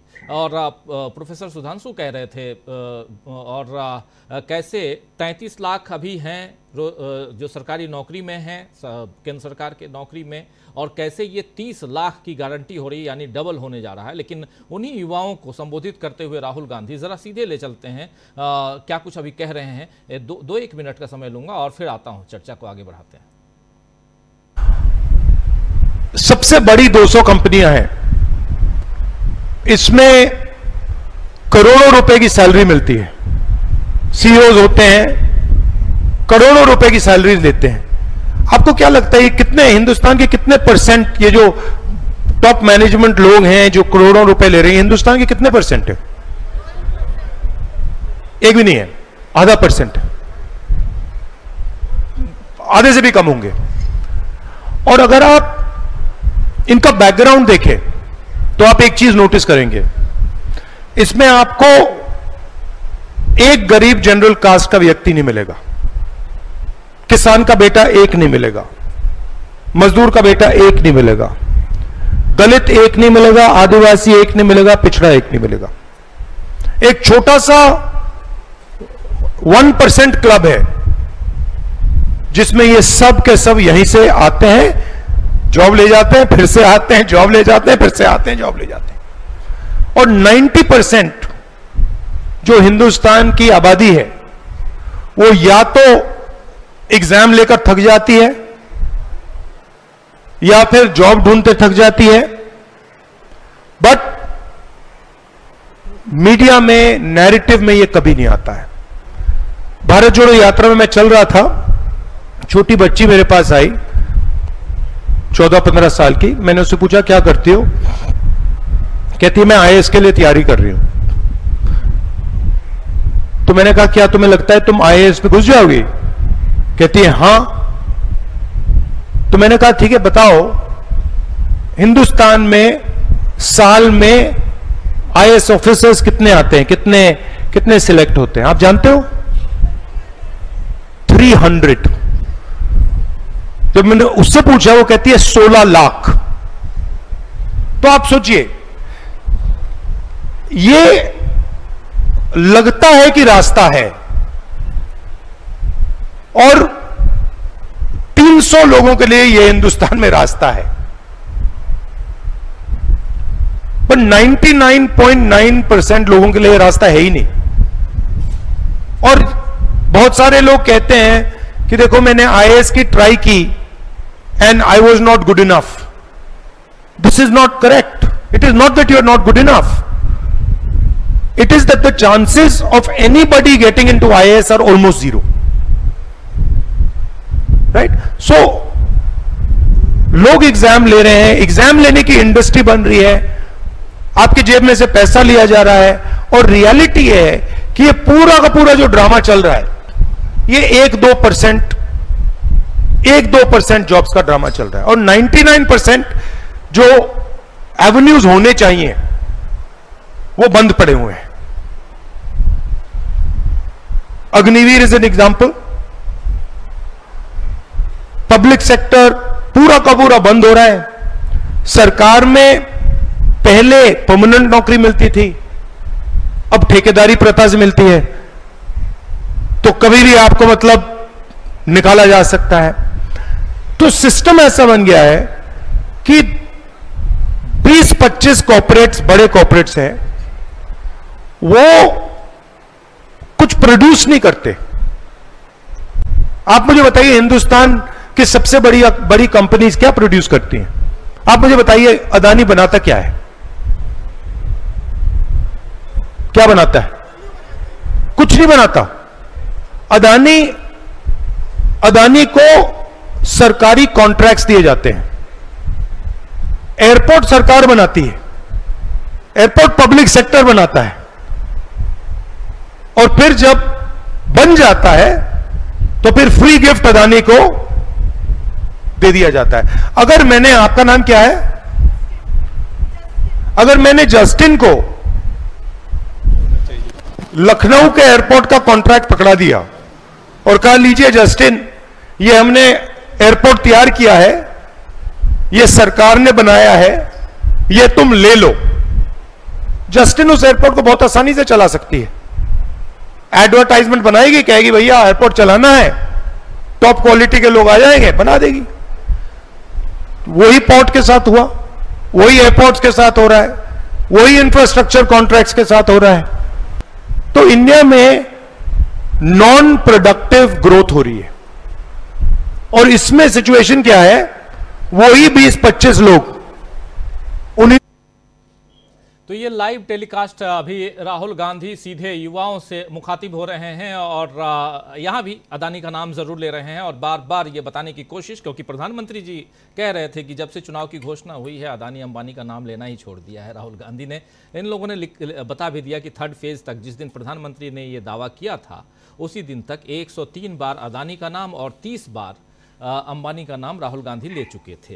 कांग्रेस पार्टी ने जैसा बताया है वही आप तक रख रहा हूँ। अभी भी अदानी का नाम ले रहे हैं। तो ये एक बार जल्दी से क्लोजिंग के कमेंट आपका मुकेश जी आप अपनी बात रख रहे थे। ज़रा इसको क्लोज कीजिए फिर जल्द जल्दी सेकेंड राउंड में जल्दी जल्दी करेंगे। एक एक दो दो मिनट में जी राजीव देखिए राजीव मज़ा आ गया राहुल गांधी की बात सुन करके। यकीन जानिए मज़ा आ गया इसलिए क्योंकि एक आदमी को इतनी बढ़िया समझ है राजनेता को कि हिंदुस्तान खड़ा कहाँ है? आप तीसरी, पांचवी, चौथी इकॉनमी बन रहे दुनिया का एक प्रोडक्ट बताइए जिसकी यूनिवर्सल डिमांड हो कि हाँ साहब, ये सामान हमें इंडिया से लेना चाहिए। मसाले आपकी सदियों पुरानी ताकत थी, उन मसालों की क्वालिटी आपके यहाँ मेंटेन नहीं और दूसरी जगह पे जाकर के उन पर आपत्तियाँ लग रही क्यों भाई? ऐसा कौन सा? मैं कह रहा हूँ 140 करोड़ का देश है। बिल्कुल ठीक कह रहे राजीव राहुल गांधी। 140 करोड़ के देश में हमारे और आपके फख्र करने के लिए ऐसा कौन सा प्रोडक्ट हम बनाते हैं? सिवाय ह्यूमन रिसोर्स वो भी trained human resource capable human resource को हम यहाँ से एक्सपोर्ट करने के अलावा और क्या करते हैं बताइए? उससे जो हमें जो है रेमिटेंस मिल रहा है बहुत बढ़िया उस पर खुश हो जाए उछलने लगे। ये बहुत अच्छी बात है जिस ए, एक ऐसा एक ऐसा राजनेता ये यहाँ पर मुझे याद आती है राजीव गांधी की स्थितियाँ। राजीव गांधी ने भी इसी तरह के सपने देखे थे। कुछ वो कर पाए कुछ नहीं कर पाए लेकिन सपने देखे थे। हमारे नरेंद्र मोदी जी ने उसकी तुलना में क्या क्या किया है? बात तो बहुत अच्छी की थी आपने भ्रष्टाचार खत्म करेंगे। दिया क्या आपने इस देश को इलेक्ट्रल बॉन्ड बात बहुत अच्छी की थी आपने। इस इलेक्ट्रल बॉन्ड के रूप में भी क्या दिया? खाली इलेक्ट्रल बॉन्ड तक ही रहता तो भी ठीक था। इलेक्ट्रल बॉन्ड में भी आपने न जाने कितनी कंपनियों से कनपट्टी पर लगा करके पैसे वसूले। जी। अगर आज देश की जनता यह समझ रही है तभी आपके खिलाफ हवा है तभी वो अंडर करंट है। जिसकी वजह से कि आपके पैर के नीचे से ज़मीन खिसक रही है। और उसको आप चाहे जितना घुमाने कोशिश करें। अब रही बात इसकी एक हमारे प्रोग्राम में दो लाइन उसमें जोड़ दू। बीजेपी में आज चर्चा हुई है कि नरेंद्र मोदी के बाद कौन? अरे नरेंद्र मोदी हटेंगे क्या आसानी से? ये न जाने हटने से पहले कितनी चीज़ कितने लोगों को निस्तनाबूत करेंगे? इतना आसान नहीं है। ऐसा भी लोग शक ज़ाहिर कर रहे हैं कि यहाँ तक कि मैंडेट इनके खिलाफ चला गया तो भी आसानी से, ढंग से, शांतिपूर्ण तरीके से माफ़ कीजिए। चेंज ऑफ़ गवर्नमेंट हो जाए आसान नहीं है। लोगों को इस बात को लेकर भी शक है। और उसकी वजह है आप जिस व्यक्ति का डेमोक्रेटिक वैल्यूज़ भी यकीन नहीं होगा, वो व्यक्ति न जाने क्या क्या करेगा आखिरी तक। सबसे बड़े उदाहरण आप देखिए, क्यों आपको सूरत में इस तरीके से करना पड़ा? क्यों इंदौर में करना पड़ा? क्या दिक्कत थी वहाँ? दिक्कत सिर्फ़ और सिर्फ़ इतनी थी कि आप एक लठैती वाले अंदाज में देश को चलाना चाहते हैं। आप देश के शीर्ष पद पर बैठे हैं और सुबह से शाम तक इतना झूठ बोलते हैं। अभी रिसेंटली दो दिन का, एक दिन आप जो है वो पब्लिक में नहीं गए, आपने छुट्टी बनाई उस दिन लोगों ने चुटकी लिखी, अरे आज मोदी जी ने कोई झूठ नहीं बोला भाई, इस ऐतिहासिक दिन नौ मई को याद रखो। गजब है। ये हमारे देश के प्रधानमंत्री शीर्ष पद पर बैठे हुए व्यक्ति की स्थिति हो गई। हम और आप आसानी से कह सकते हैं, कोई डाटा देखने की ज़रूरत नहीं कि प्रधानमंत्री जी फला फला मुद्दे पे फला फला बात पे झूठ बोल रहे हैं। एक बहुत बड़ा मज़बूत नेता जिसके पास ऐसा जनाधार है, उसको क्यों ऐसा करना चाहिए? और मैं आपको बताऊँ, कल आप देखिएगा चौथे फ़ेज़ में भी। एक बहुत सिग्निफिकेंट चीज़ नोटिस कीजिएगा। जिस आरएसएस की मशीनरी इतनी ऑयल्ड है, इतनी ऑर्गेनाइज्ड है हम लोग आज से नहीं, पचासों साल से देख रहे हैं इस चीज़ को। उस आरएसएस की मशीनरी को अपने वोटर्स को, अपने सिंपैथाइजर्स को मोटिवेट करने में बूथ तक ले जाने में क्यों दिक्कत हो रही है? सिर्फ़ इसलिए दिक्कत हो रही है कि वो जब जनता के पास रूबरू जुड़ता है तो उसके पास अपने नेताओं की उस उल्टी पुल्टी बातों को डिफेंड करने के लिए शब्द नहीं मिलते हैं, तथ्य नहीं मिलते हैं। लिहाजा वो ठंडा पड़ जाता है, ढीला पड़ जाता है। उसी को मोटिवेट करने के लिए कि हमारे झूठ को ही आगे और फैलाओ। नरेंद्र मोदी जी नागपुर पहुँचते हैं। और नागपुर से भी इनको कोई कामयाबी और कोई सफलता नहीं मिलती। मोहन भागवत जी की ओर से कहा जाता, भैया, हमने किसी को मना नहीं किया। लेकिन क्या करें? अब तुम्हारे पैर के नीचे से ज़मीन खिसक गई है। फिर आते हैं बौखलाते हुए, नहीं, चलो जी, मैं एक दूसरा जुमला छोड़ता हूँ, मेरा टेस्टेड एंड ट्रस्टेड एलिमेंट है, हिंदू, मुस्लिम, वो कर लेते हैं। मेरा टेस्टेड और ट्रस्टेड इंस्ट्रूमेंट है झूठ बोलना वो कर लेते हैं। कितना कब तक? अब स्थिति यह है कि आप राहुल गांधी के बारे में कह रहे हो कि ये हैं कौन? अमित मालवीय कहते हैं स्मृति ईरानी कहती हैं ये हैं कौन? बहुत बढ़िया। राहुल गांधी कोई है ही नहीं तुम्हारे सामने। और तुम्ही हम यही अमित शाह का दो दिन पहले आपने ही वो साउंड बाइट दिखाई है कि मुकाबला एक राहुल गांधी और नरेंद्र मोदी के बीच है। जी जी बिल्कुल। यानी आपका ही जो बहुत बड़ा चोटी का नेता है, वो इस बात को कन्फेस कर रहा है कि सही मायने में इस चुनाव में मुकाबला नरेंद्र मोदी और राहुल गांधी के बीच में है। और आपके चुटपुंजिया नेता क्या बोलते हैं? सोशल मीडिया पे पैदा हुए और यहीं पर मर जाने वाले नेता क्या बोलते हैं? यह है कौन? ये डेमोक्रेसी है। अगर आप इस तरह की डेमोक्रेसी को पैदा करना चाहते हैं, बड़ा करना चाहते हैं तो देश की जनता ने साफ़ साफ़ इंडिकेट कर दिया है कि ये नहीं होने वाला। और यही सुन के, यही देख करके इनके पैरों के नीचे से ज़मीन खिसकी हुई है।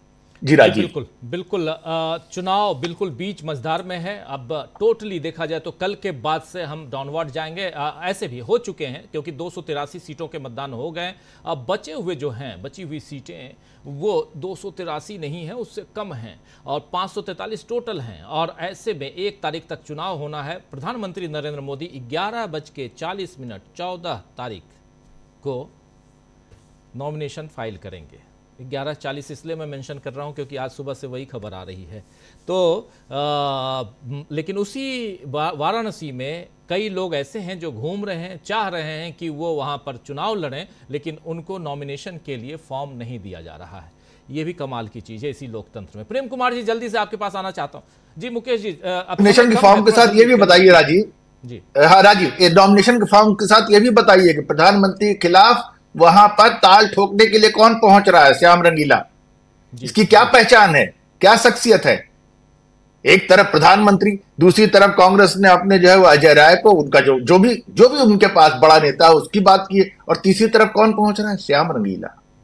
यानी और कह रहा है कि प्रधानमंत्री को उन्हीं की भाषा में जवाब देंगे। ये ये तो हमारे प्रधानमंत्री की स्थिति है।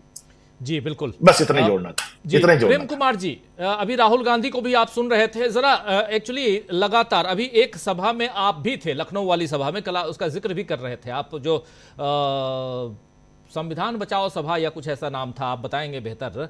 और दूसरा ये युवाओं से अभी मुखातिब हो रहे थे राहुल गांधी। चुनाव का प्रचार और वैसे में ज़्यादातर हम लोग देखते हैं, लोग रैलियाँ करते हुए नज़र आते हैं नेता और इन इन चीज़ों के लिए समय नहीं रहता है। लेकिन राहुल गांधी इसमें समय निकाल कर जो काम कर रहे हैं, ये चुनावी उसमें, यानी कि वोटों में तब्दील करने में सहायक होता हुआ, क्योंकि आप चूँकि एक एक सभा को वो कर चुके हैं, कवर कर चुके हैं, देख चुके हैं। हमारे साथी प्रशांत टंडन जी भी एक सभा को दिल्ली में, ऐसी ही सभा को देख चुके हैं जिसमें राहुल गांधी थे, और इसी चुनाव प्रचार अभियान के दौरान में।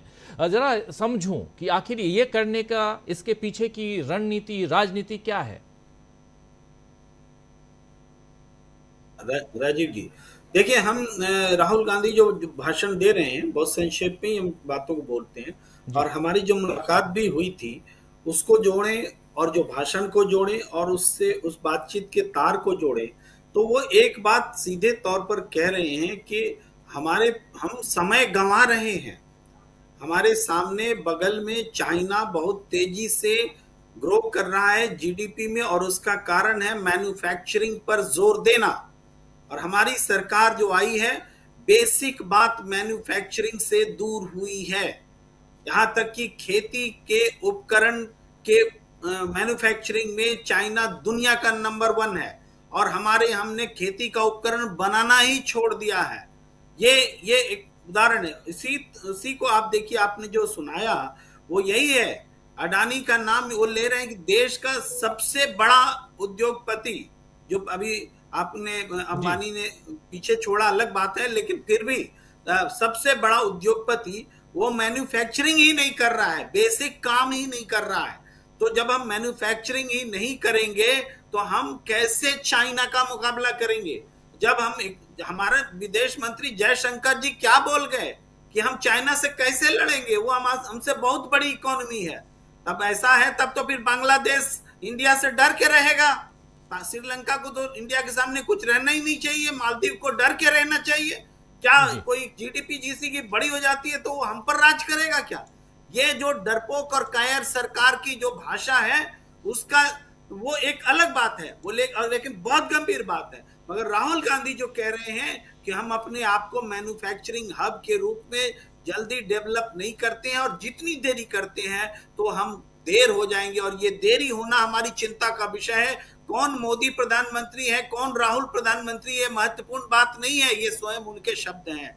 व्यक्ति महत्वपूर्ण नहीं है, देश महत्वपूर्ण है, इस बात को वो समझाना चाह रहे हैं और बहुत सरल भाषा में लोगों के बीच, युवाओं के बीच बता रहे हैं। मुझे लगता है कि लोगों को बातें समझ में आ रही हैं।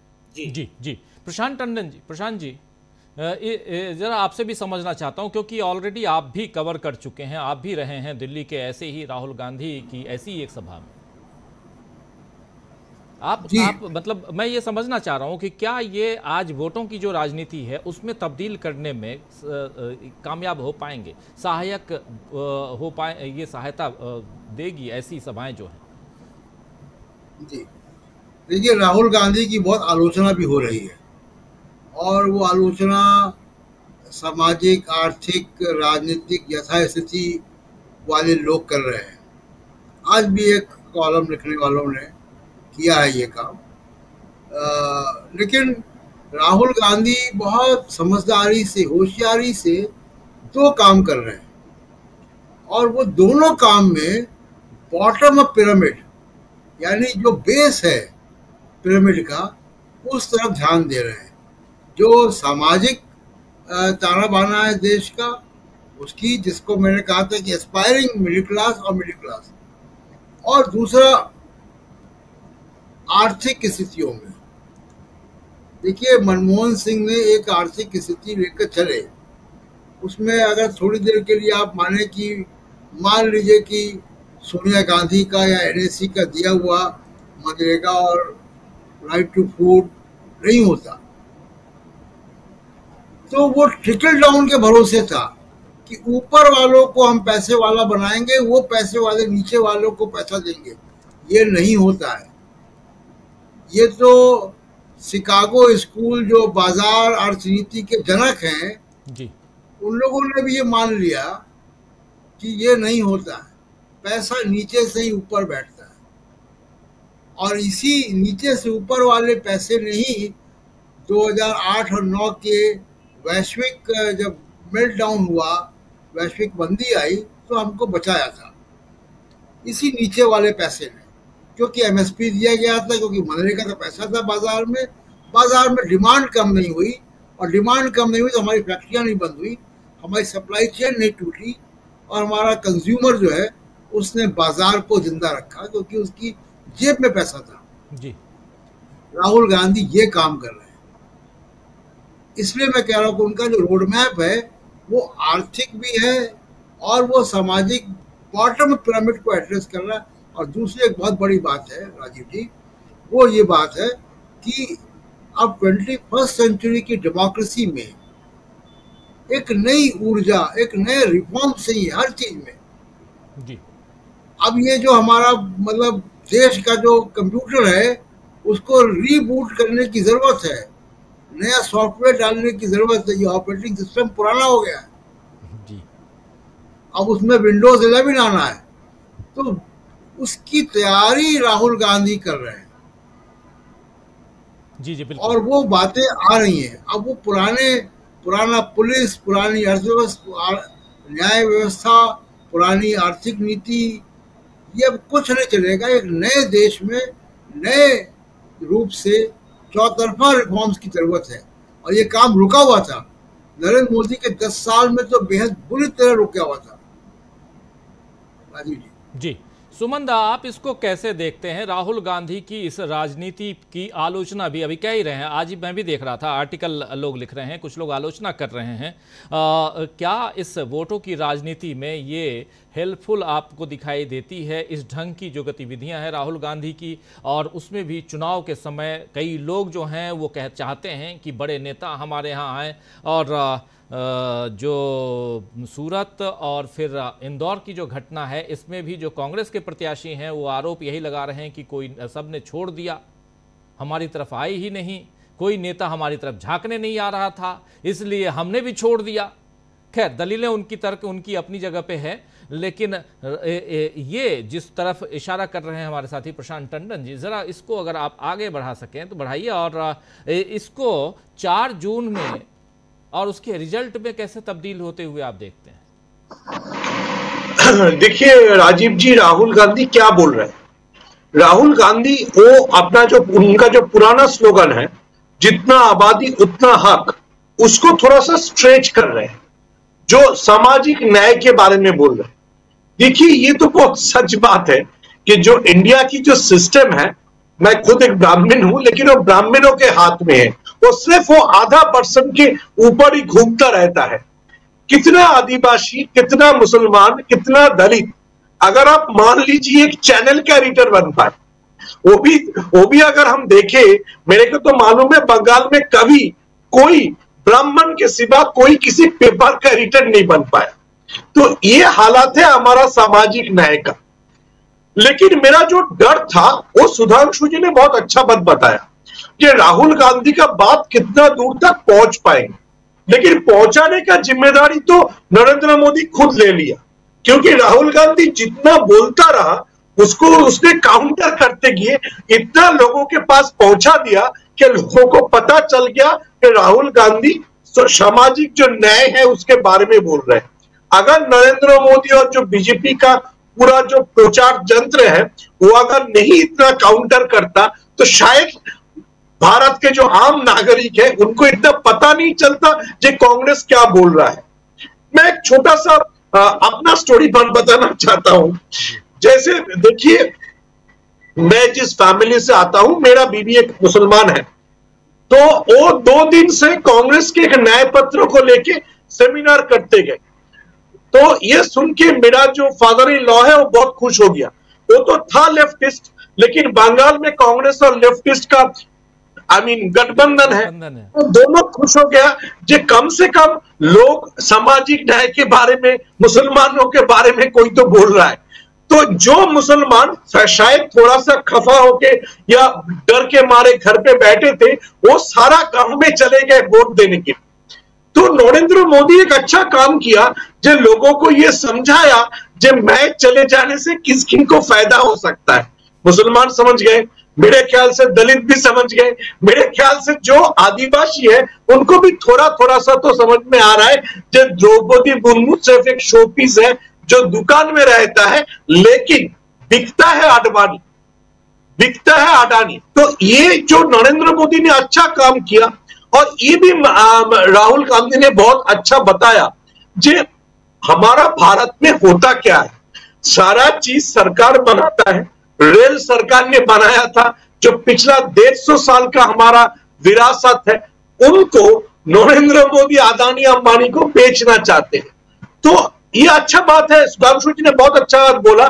मैंने पिछला दस साल में पहला बार नरेंद्र मोदी को देख रहा हूँ, जब वो एजेंडा सेट नहीं कर पा रहा है, वो दूसरे को एजेंडे के ऊपर रिएक्ट कर रहा है। तो ये अच्छा बात हुआ, मुसलमान समझ गए दलित समझ गए सारे लोग समझ गए जब मोदी जी क्या नहीं दे रहा है और दूसरे सरकार आने से क्या आ सकता है। मेरे ख्याल से मेरे ख्याल से आ, आ, आ, मैं कभी इतना घबराए हुए बीजेपी को भाजपा को नहीं देखा हूँ। तो मेरे ख्याल से कल तक तो 380 का सीट आ, हो जाएगा। इनमें से कम से कम जो भाजपा का पुराना टैली है उसमें से 60-70 का नुकसान है। तो 400 पार तो छोड़ दीजिए। 300 तक जाने के लिए भाजपा को जितना संघर्ष करना पड़ रहा है, मेरे ख्याल से जय शाह को क्रिकेट की बोर्ड को बचाने के लिए भी उतना ही संघर्ष करना पड़ेगा। मेरे ख्याल से चौथा जून बहुत इंटरेस्टिंग होगा और जो लोग सोच सोच रहे थे कि मैच खत्म हो गया, जैसे वर्ल्ड कप फाइनल में भी सारे लोग सोच गए थे मैच खत्म हो गया, ये मैच बहुत बाकी है। मैच अभी बाकी है, बिल्कुल। और कितना बाकी है और जो आप जय शाह का नाम ले रहे थे और आ, क्रिकेट कंट्रोल बोर्ड में सेक्रेटरी के पद पे हैं और बार बार उनका ज़िक्र आता है। आ, तो ये सब भी देखा जाएगा आने वाले समय। आप किस ढंग से देखते हैं डॉक्टर साहब? और एक मज़ेदार पहलू मज़ेदार तथ्य जो है वो राहुल गांधी का अभी का भाषण बिल्कुल लाइव आप लोगों के सामने आ रहा था, देख ही रहे थे हम लोग। और उस भाषण में जो एक आत्मविश्वास दिखाई दे रहा है, युवाओं के बीच, वो युवाओं के रोज़गार की बात कर रहे हैं। और दूसरा, अभी अभी, चूँकि हमने प्रोग्राम की शुरुआत में बताया था कि एक चैनल है मॉलिटिक्स, उसके पत्रकार को जो कवर कर रहा था, वो पत्रकार उसकी कैसे पिटाई हुई है, उस पर एक प्रतिक्रिया आई है राहुल गांधी की। उसको थोड़ा सा, बहुत जल्दी रिकैप कर लेते हैं, देख लेते हैं और आप, आपके पास आता हूँ। देखिए, यहाँ पर राहुल गांधी साफ़ लिख रहे हैं कि आज आज देश में दो तरह की मीडिया है। एक वो जिनकी पीठ झूठ और नफरत फैलाने पर प्रधानमंत्री खुद थपथपाते हैं।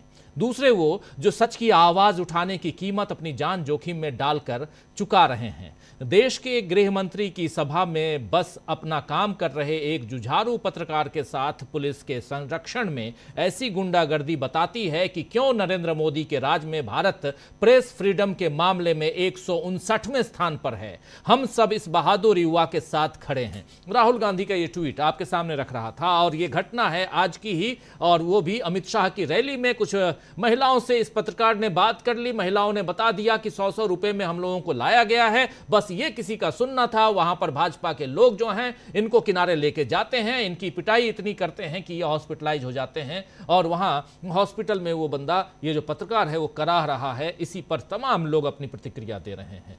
डॉक्टर साहब। गांधी ने एक पत्रकार साथी के साथ खड़े होने की बात उन्होंने कही है, और एक जानकारी और जोड़ देते हैं, वहाँ अस्पताल में इस घायल पत्रकार साथी से मिलने वाले पहले व्यक्ति भूपेश बघेल हैं। वे शायद घटना के तुरंत बाद वहाँ पहुँचे थे जो इस वक्त वहाँ प्रभारी हैं चुनाव के कांग्रेस की तरफ़ से छत्तीसगढ़ के भूतपूर्व मुख्यमंत्री। राजीव जी हमारा पेशा इस वक्त इस अमृत काल में जिस दौर से गुजर रहा है उसके लिए सिर्फ़ इतना कह सकते हैं एक शेर अर्ज़ करना चाहते हैं। पीछे बंधे हैं हाथ मगर शर्त है सफ़र। पीछे बंधे हैं हाथ मगर शर्त है सफ़र। किससे कहें कि पाँव का कांटा निकाल दे? लेकिन हम किसी से नहीं कहेंगे पाँव का कांटा निकाल दे। हम इस सफ़र को जारी रखेंगे, कलम की ताकत अपना जलवा दिखाती रहेगी और घायल पत्रकार साथी के साथ और मल्टिक्स के साथ हम और डीवी लाइक पूरी तरह खड़े हुए हैं। अंतिम बात दो तीन करना चाहता हूँ। जो सुमंदा ने कहा कि पत्रकारों के बीच में किस तरह से सवर्ण मध्यम वर्गीय लोग संपादक हैं ये सवाल सुमंदा स्वयं राहुल गांधी उठा चुके हैं कि आपके न्यूज़ रूम में कितने दलित हैं, कितने पिछड़े हैं? पत्रकार साथी से ही उन्होंने पूछा था।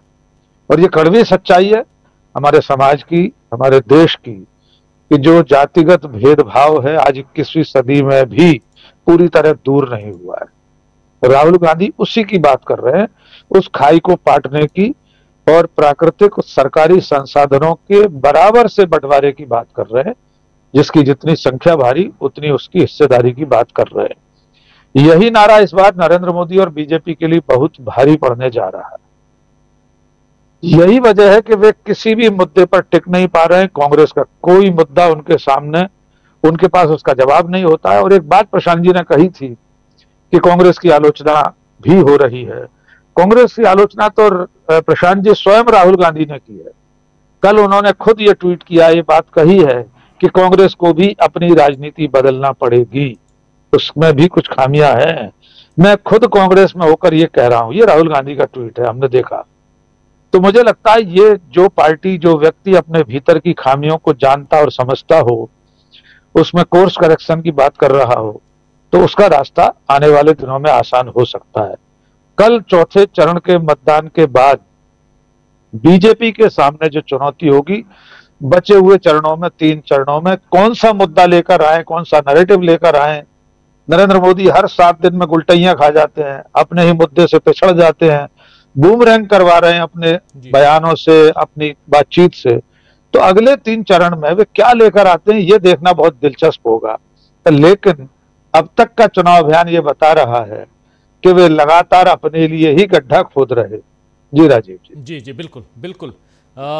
सुधांशु जी आप कैसे देखते हैं? इंडिया गठबंधन इस चुनाव में कहा दिखाई देता है आपको? तीन चरण हो गए, चौथे। नहीं, एक चीज़ जरा, एक चीज़ डिस्कस करना चाह रहा था मैं। जैसे ये जो राहुल गांधी की जो प्रचार की शैली है, क्योंकि कई लोग जो ट्रेडिशनली देखना चाह रहे हैं, उनको शायद अलग लग रहा है। आप एक चीज़ गौर करके देखिए, उन्होंने जिन पाँच न्याय की बात की है अपने घोषणा पत्र, उन्हीं लोगों से वो मिल रहे हैं। उन्हीं समूहों से मिल रहे हैं। और एक पॉलिटिकल पार्टी का जो सर जो मेन नेता है, उनका काम यही है।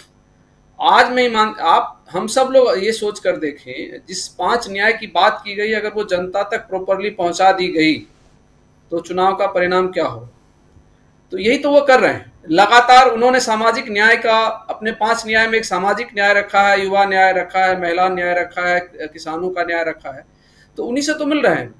और उन तक पहुंचकर ये बताने की कोशिश कर रहे हैं कि हमने जो घोषणा पत्र में कहा उसका मतलब क्या है? क्योंकि हर चीज़ का इंटरप्रिटेशन अब जब प्रधानमंत्री लेवल पर कोई व्यक्ति आकर ये कहने लगे कि आपकी दो भैंस है तो एक भैंस कांग्रेस खोल ले जाएगी। तो अल्टीमेटली तो उनका स्पष्टीकरण उन जगहों पर जाकर देना पड़ेगा ना, जिनके लिए वो कहा गया है। है ना? मंगलसूत्र खोल कर मतलब आपको जो है दे दिया जाएगा। इस तरह के बयानबाजी के बीच, और ये एक महत्वपूर्ण बात है, देखिए, पूरे चुनाव में बीजेपी के घोषणा पत्र की कोई चर्चा हो रही है क्या? कोई जरा ये कहीं कहीं पर आपने देखा है कि बीजेपी ने अपने घोषणा पत्र में क्या कहा है? मोदी की जो गारंटी है, हालाँकि इस मोदी की गारंटी को लेकर भी उनके अंदर बहुत सारे सवाल अब उठने लगे कि हर चीज़ मोदी की है तो बीजेपी कहाँ चली गई? है ना? और बीजेपी के पीछे खड़ा हुआ संगठन कहाँ चला गया? उसकी तो कोई चर्चा ही नहीं हो रही। सब कुछ अब मोदी मोदी है और अब ये पहली बार मुझे लगता है कि भारतीय जनता पार्टी के बीच में पिछले पाँच, सात सालों में हुआ है कि भारतीय जनता पार्टी का राष्ट्रीय अध्यक्ष कोई वैल्यू नहीं रखता। है ना? ताकत भारतीय जनता पार्टी का एक वो दौर भी था कि लाल कृष्ण आडवाणी एक जगह एक बार पाकिस्तान गए गलती करी उनके हिसाब से गलती करी और वो उतना बड़ा नेता जो है खारिज कर दिया गया पार्टी से। और आज वही पार्टी में एक व्यक्ति का एक व्यक्ति की पार्टी बन के रह गई है भारतीय जनता पार्टी। तो खैर एक चीज़ तो वो है। तो इसलिए जो आपने सवाल किया कि भाई कैसा दिख रहा है आपको मैं बता रहा हूँ ये सारी चीज़ें आज है चर्चा में है जनता के बीच। ये मुद्दे ये पाँच न्याय चर्चा में है और मुझे लगता है कि राहुल गांधी जी को और कांग्रेस को प्रधानमंत्री जी का एक बार इस बात के लिए धन्यवाद करना चाहिए कि उन्होंने घोषणा पत्र को और बहुत अच्छे तरीके से जनता तक पहुँचा दिया। जो लोग नहीं पढ़ते होंगे उन्होंने भी एक बार पलट के पढ़ने की कोशिश की होगी कि वा, क्या वाकई में उन्होंने कोई मुगलों के बारे में दो लाइन लिखा है क्या? क्या वाकई में मंगलसूत्र छीन जाएगा क्या? या कोई वाकई में कोई भैंस हमारी छीन के ले जाएगा क्या? तो सवाल ये है कि जब ये क्योंकि देखिए जब आप होता क्या है? गलतियाँ करना शुरू कैसे करते? हैं मैं हम लोग बार बार इस चीज़ को कहते थे जो सवाल उठता था कि विपक्ष कहाँ है विपक्ष कहाँ है इतनी सारी चीज़ें हो रही हैं और विपक्ष कहीं दिखाई नहीं देता। तो सवाल यही था कि भाई विपक्ष इतना प्रेशर बना पा रहा है क्या कि जो जो उधर सत्ता पक्ष में बैठे हुए लोग हैं वो उनका रिएक्शन वही तो हुआ है ना इस बार? इस बार विपक्ष ने प्रॉपर दबाव बनाया और इसके वजह से सत्ता पक्ष के जो रिएक्शन हो रहे हैं वो उनको उल्टा पड़ रहे हैं उनको भारी पड़ रहे हैं। आप देखते जाओ गल, गलतियों पर गलतियाँ। मतलब आश्चर्य था उस दिन मुझे लगता है कि हर कोई एक बार अपने घर में बैठकर सोच रहा होगा कि यार नरेंद्र मोदी जी ने अडानी और अंबानी पे कैसे अटैक कर दिया जबकि पूरा पार्लियामेंट सेशन धुल गया। से ले लिया। मांग होती रह गई ज्वाइंट पार्लियामेंट्री कमेटी मांगते रह गए लोग। और एक शब्द जो है प्रधानमंत्री और उसकी पार्टी ने कहने की हिम्मत नहीं जुटाई और वो चुनाव में टेंपो जो है उनका निकल कर आ गया। तो इसलिए ये आप देखिए एडजेक्ट अनुमान लगा देना कि इतनी संख्या आ जाएगी ये कहना तो खैर मैं कोई वो ना तो मैंने कोई सर्वे किया है। जी। लेकिन मैं कॉमन रूप से ज़रूर बता सकता हूँ कि जनता के बीच इंडिया गठबंधन के द्वारा लिए गए डिसीजंस और आप अक्रॉस द स्टेट्स आप में बता सकता आप एक उठाकर देख लीजिए बिहार। तेजस्वी प्रसाद यादव वहाँ पर अकेले जो है नरेंद्र मोदी को बड़ी आसानी से टक्कर दे रहा है। और मुझे लगता है कि अगर कंपैरिजन करेंगे तो नरेंद्र मोदी की सभाओं में जितनी भीड़ नहीं आ रही उससे ज़्यादा तेजस्वी यादव की सभाओं में भीड़ आ रही है।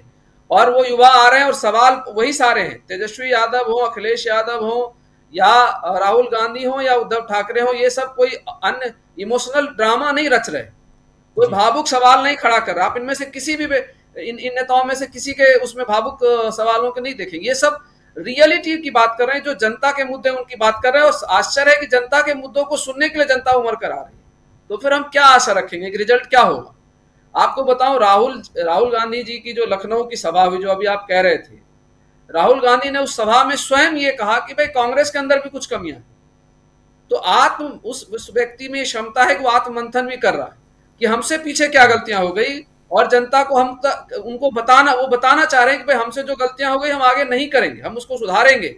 अगर हम सामाजिक न्याय का वादा कर रहे हैं, क्योंकि सामाजिक न्याय के काम और एक चीज़ और बताऊँ। इंटरेस्टिंग फैक्ट है ये राहुल गांधी पॉलिटिकल लीडर की तरह बात नहीं कर रहा।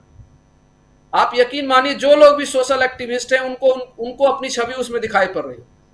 हर इस देश का सोशल एक्टिविस्ट जो सामाजिक खाली समझो ये रिजर्वेशन और आरक्षण की लड़ाई की बात नहीं कर रहा हूँ वो निजीकरण के मुद्दे पर भी उनके उनके बयान आप सुन लीजिए कि, किस तरह के बयान दे रहे हैं वो। तो वो पूरे देश के अंदर जो एक मतलब गरीब तबका कैसे उठेगा? समाज में गैर बराबरी खत्म कैसे होगी? लोगों में बराबरी कैसे आएगी? किसानों को न्याय कैसे मिलेगा? युवाओं को न्याय कैसे मिलेगा? महिला और जो एक बात अभी प्रशांत टंडन जी ने कहा कि ये ये जो ट्रिकल डाउन की पॉलिसी थी, ये पूरी तरह से फेल हो गई। तो ये जो एक लाख रुपया देंगे, लाखपति बनाएँगे, वो दरअसल उसी ट्रिकल डाउन का उल्टा है वो, कि पहले नीचे तक तो पैसा पहुंचाओ। नीचे तक पैसा पहुंचाओ और आप एक यकीन मानिए, ये सारे, जब पिछली दफ़ा भी साढ़े छह हज़ार वाला जब राहुल गांधी जी लिया तो उस समय शायद लोगों को इतना कन्विंस नहीं हो पाए थे लोग। लेकिन आज जब ये कहा जा रहा है, और ये कोई भी पूछ सकता है कि जब एक लाख रुपया इन परिवारों में जाएगा तो वो अपने घर के बैंक में तो जमा करेंगे नहीं ना। वो पैसा दोबारा वापस मार्केट में ही आना है।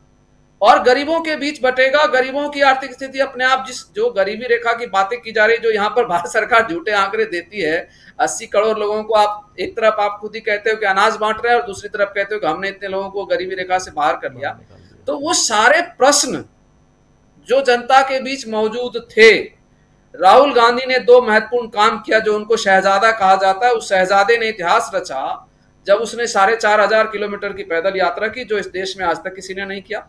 गांधी करते थे और उसके बाद फिर राहुल गांधी कर रहे हैं और फिर दूसरी यात्रा करी। तो आज के दिन में राहुल गांधी वो चीज़ समझ रहे हैं कि जनता इस देश की क्या चाहती है और इस देश की वास्तविक स्थिति क्या है उसकी समझ उनको डेवलप हुई है और इसलिए उनका जो इलेक्शन कैंपेन है वो बिल्कुल डिफरेंट है औरों की तरह। वो भीड़ की ऐसा नहीं केवल भीड़ों भीड़ है तो वहाँ जाएँगे। जो लोग ये कह रहे हैं कि भाई हम नेता प्रश्न उठा रहे हैं कि हमारी सभाओं में नहीं आ रहे हमारी सभाओं में नहीं आ रहे उनसे उनको भी इस बात को समझना चाहिए कि अगर एजेंडा सेट हो गया जो राहुल गांधी करने की कोशिश कर रहे हैं न्याय पत्र घोषणा पत्र अगर पहुँच गया तो उनको अपने आप लाभ मिलेगा। ज़रूरी नहीं है कि राहुल गांधी वहाँ पर पहुंचकर उनके क्योंकि 543 हाँ, पार्लियामेंट्री ये संभव नहीं है कि हर जगह पहुँचे। संभव तो ये बहुत अच्छी तकनीक है उनकी जो वो कर रहे हैं और मेरे हिसाब से इसका डिविडेंड ज़रूर इंडिया गठबंधन को मिलेगा। जी जी बिल्कुल बिल्कुल। वो देखते हैं कल चौथे फ़ेज़ का मतदान है और आ, कल शाम को जब हम लोग चर्चा करेंगे तो शायद बहुत सारी चीज़ें यहाँ पर खुली होंगी। क्लोजिंग कमेंट मुकेश जी जल्दी से एक छोटा सा और एक सवाल आपसे। सबसे बड़ी भूल क्या कर दी नरेंद्र मोदी ने? अरे वाह सबसे बड़ी भूल। सबसे बड़ी भूल बड़ा सीधा सिंपल सा हिसाब है। देखिए मैं आपको राजीव एक बड़ी इंटरेस्टिंग बात बताऊँ। मैंने बहुत लंबे अरसे तक बीजेपी को कवर किया। मैं मेन बीट रिपोर्टर था बीजेपी का। छह आठ साल वाजपेयी जी की पूरी सरकार के दौरान, उस जमाने में नरेंद्र मोदी जी जनरल सेक्रेटरी बन के अशोक रोड मुख्यालय में बैठते थे। कई बार मुलाकात होती थी। और उसके बाद नरेंद्र मोदी तीन बार इस देश के, वो गुजरात के मुख्यमंत्री चुने गए। चुनाव वाले दिन यहाँ दिल्ली से जाकर के सबसे पहला इंटरव्यू उन्होंने मुझे दिया है। यानी जिस दिन काउंटिंग होती है। होता है ना, आठ दस लोग, हम लोग मीडिया वाले एक के पीछे एक खड़े होते हैं, भाई हमको इंटरव्यू चाहिए, एक रिएक्शन चाहिए दिस दैट और उसमें सबसे पहला इंटरव्यू उन्होंने मुझे दिया। दो वजह होती है उसकी, एक हमारा बैनर जिस चैनल के लिए हम काम कर रहे होते हैं, दूसरा एक इंडिविजुअल की भी एक चीज़ होती है, उसकी, उसका भी एक महत्व होता है। तो नरेंद्र मोदी को मैं उस दौर से देख रहा हूँ। और ये भी बता दूँ आपको कि दस साल वो यहाँ दिल्ली में हैं, मेरी उनसे आज तक कभी मुलाकात नहीं। मैंने कोशिश नहीं की, उन्होंने भी कोशिश नहीं की, वो अपनी दुनिया में खुश है, मैं अपनी दुनिया में खुश हूँ।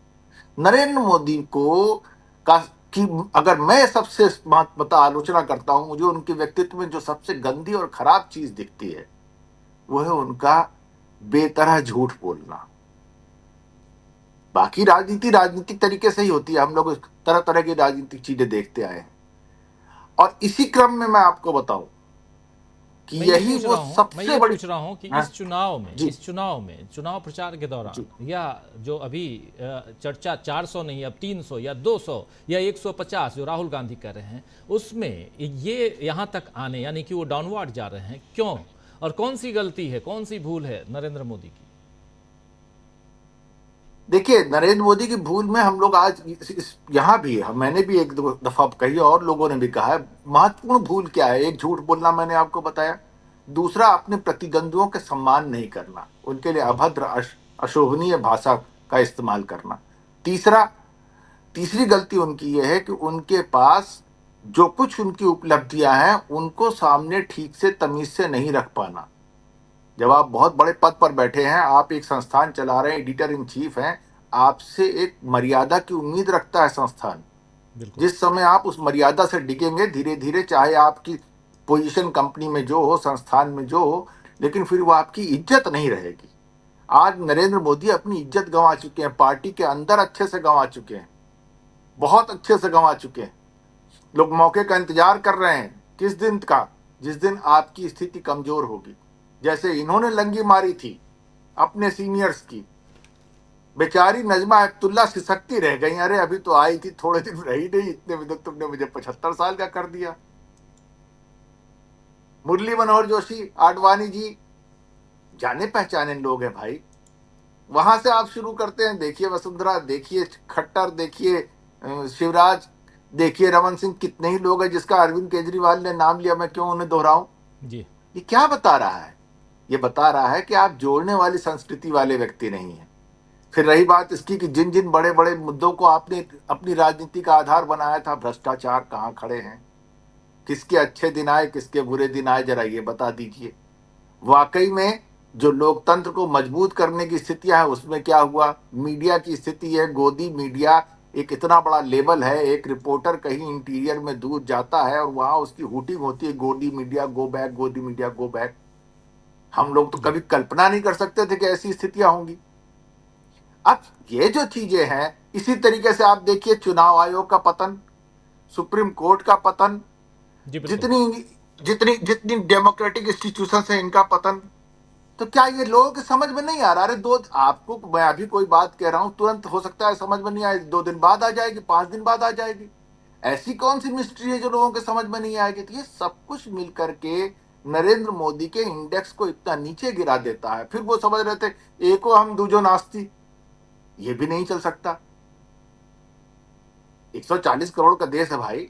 दूसरी पार्टियों में लोग नहीं तुम्हारी पार्टी में भी कोई नहीं एको हम ही हो बस। ये कैसे संभव है?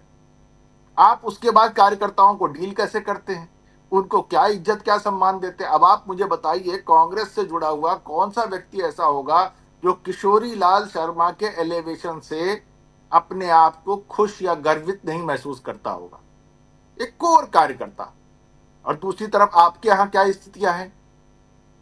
करीब करीब लोगों ने हिसाब लगाया है कि 110 या 12 कुछ इस तरह की संख्या है। इसी चुनाव में आपने दूसरी पार्टियों से आए लोगों को कैंडिडेट बनाया है। मेयर वर्कर और इधर उधर कोई अलग ब्लाक प्रमुख और फलाना ठिकाना टाइप का नहीं बनाया। कैंडिडेट बनाया है। जी। तो जो लोग आपकी पार्टी के लिए संघर्ष कर रहे हैं आप जब आए थे तो नहीं जी, हम संसद तक पहुँचने के लिए बहुत लंबा संघर्ष किए हैं। इस बहुमत को पाने के लिए बहुत लंबा संघर्ष किया याद कीजिए संसद के अंदर का भाषण इनका। आँखों से आँसू आडवाणी जी को देख करके आप भाव विहल हो रहे हैं। ठीक है, अच्छी बात है। आप लोगों ने संघर्ष किया, कोई दो राय नहीं इसमें। आपकी राजनीति से हम असहमत हैं, ये अलग बात है। लेकिन हम आपके उस संघर्ष को आइडेंटिफाई करते हैं। तो अब सवाल यह है कि ये सारी चीज़ें मिल करके जब आप गिरे हो जब ध्वस्त हो रहे हो खराब हो रहे हो तो क्या स्थिति हो रही है? वही हाल है इनका। और मैं आपको बता दूँ देखिएगा चुनाव के नतीजे आएँगे जब बीजेपी के प्रतिकूल होंगे तो इनका क्या हाल होगा? क्या जितने लोग आज इनके लॉयल हैं अरुण जेटली किसके लॉयल थे? राजनाथ सिंह किसके लॉयल थे? सुषमा स्वराज किसकी लॉयल थी? क्या आडवाणी जी की नहीं थे ये लोग? लेकिन जब हवा बही हवा बदली तो कैसे इन लोगों ने पाला बदल लिया? ये राजनीति का दस्तूर है। बहुत कम लोग हैं और जो लोग कहते हैं कि गांधी परिवार गांधी परिवार गांधी परिवार की यही सबसे बड़ी विशेषता है। ये कांग्रेस का एक ऐसा यूनिफाइंग फैक्टर है। गुजर गया आज हंसराज भरद्वाज ऑफ़ कैमरा मेरी उनसे बात हुई। आज से कम से कम पंद्रह एक साल पहले की बात मुकेश जी प्रोग्राम खत्म करना है। चलिए, छोड़िए। जी चलिए, बात करेंगे इन सब पे बात करेंगे आराम से। बहुत बहुत शुक्रिया अदा करता हूँ आप लोगों का। बहुत बहुत धन्यवाद। आप तमाम साथी जुड़े हमारे साथ और इस चर्चा में भाग लिया आप सबका बहुत शुक्रिया बहुत धन्यवाद। और आप तमाम साथी जो हमारे साथ लगातार बने हुए हैं आप सबका भी बहुत शुक्रिया अदा कर रहा हूँ। आज एक लंबा वक्त आप लोगों का लिया। लगभग 20 मिनट एक्स्ट्रा हम लोगों ने इस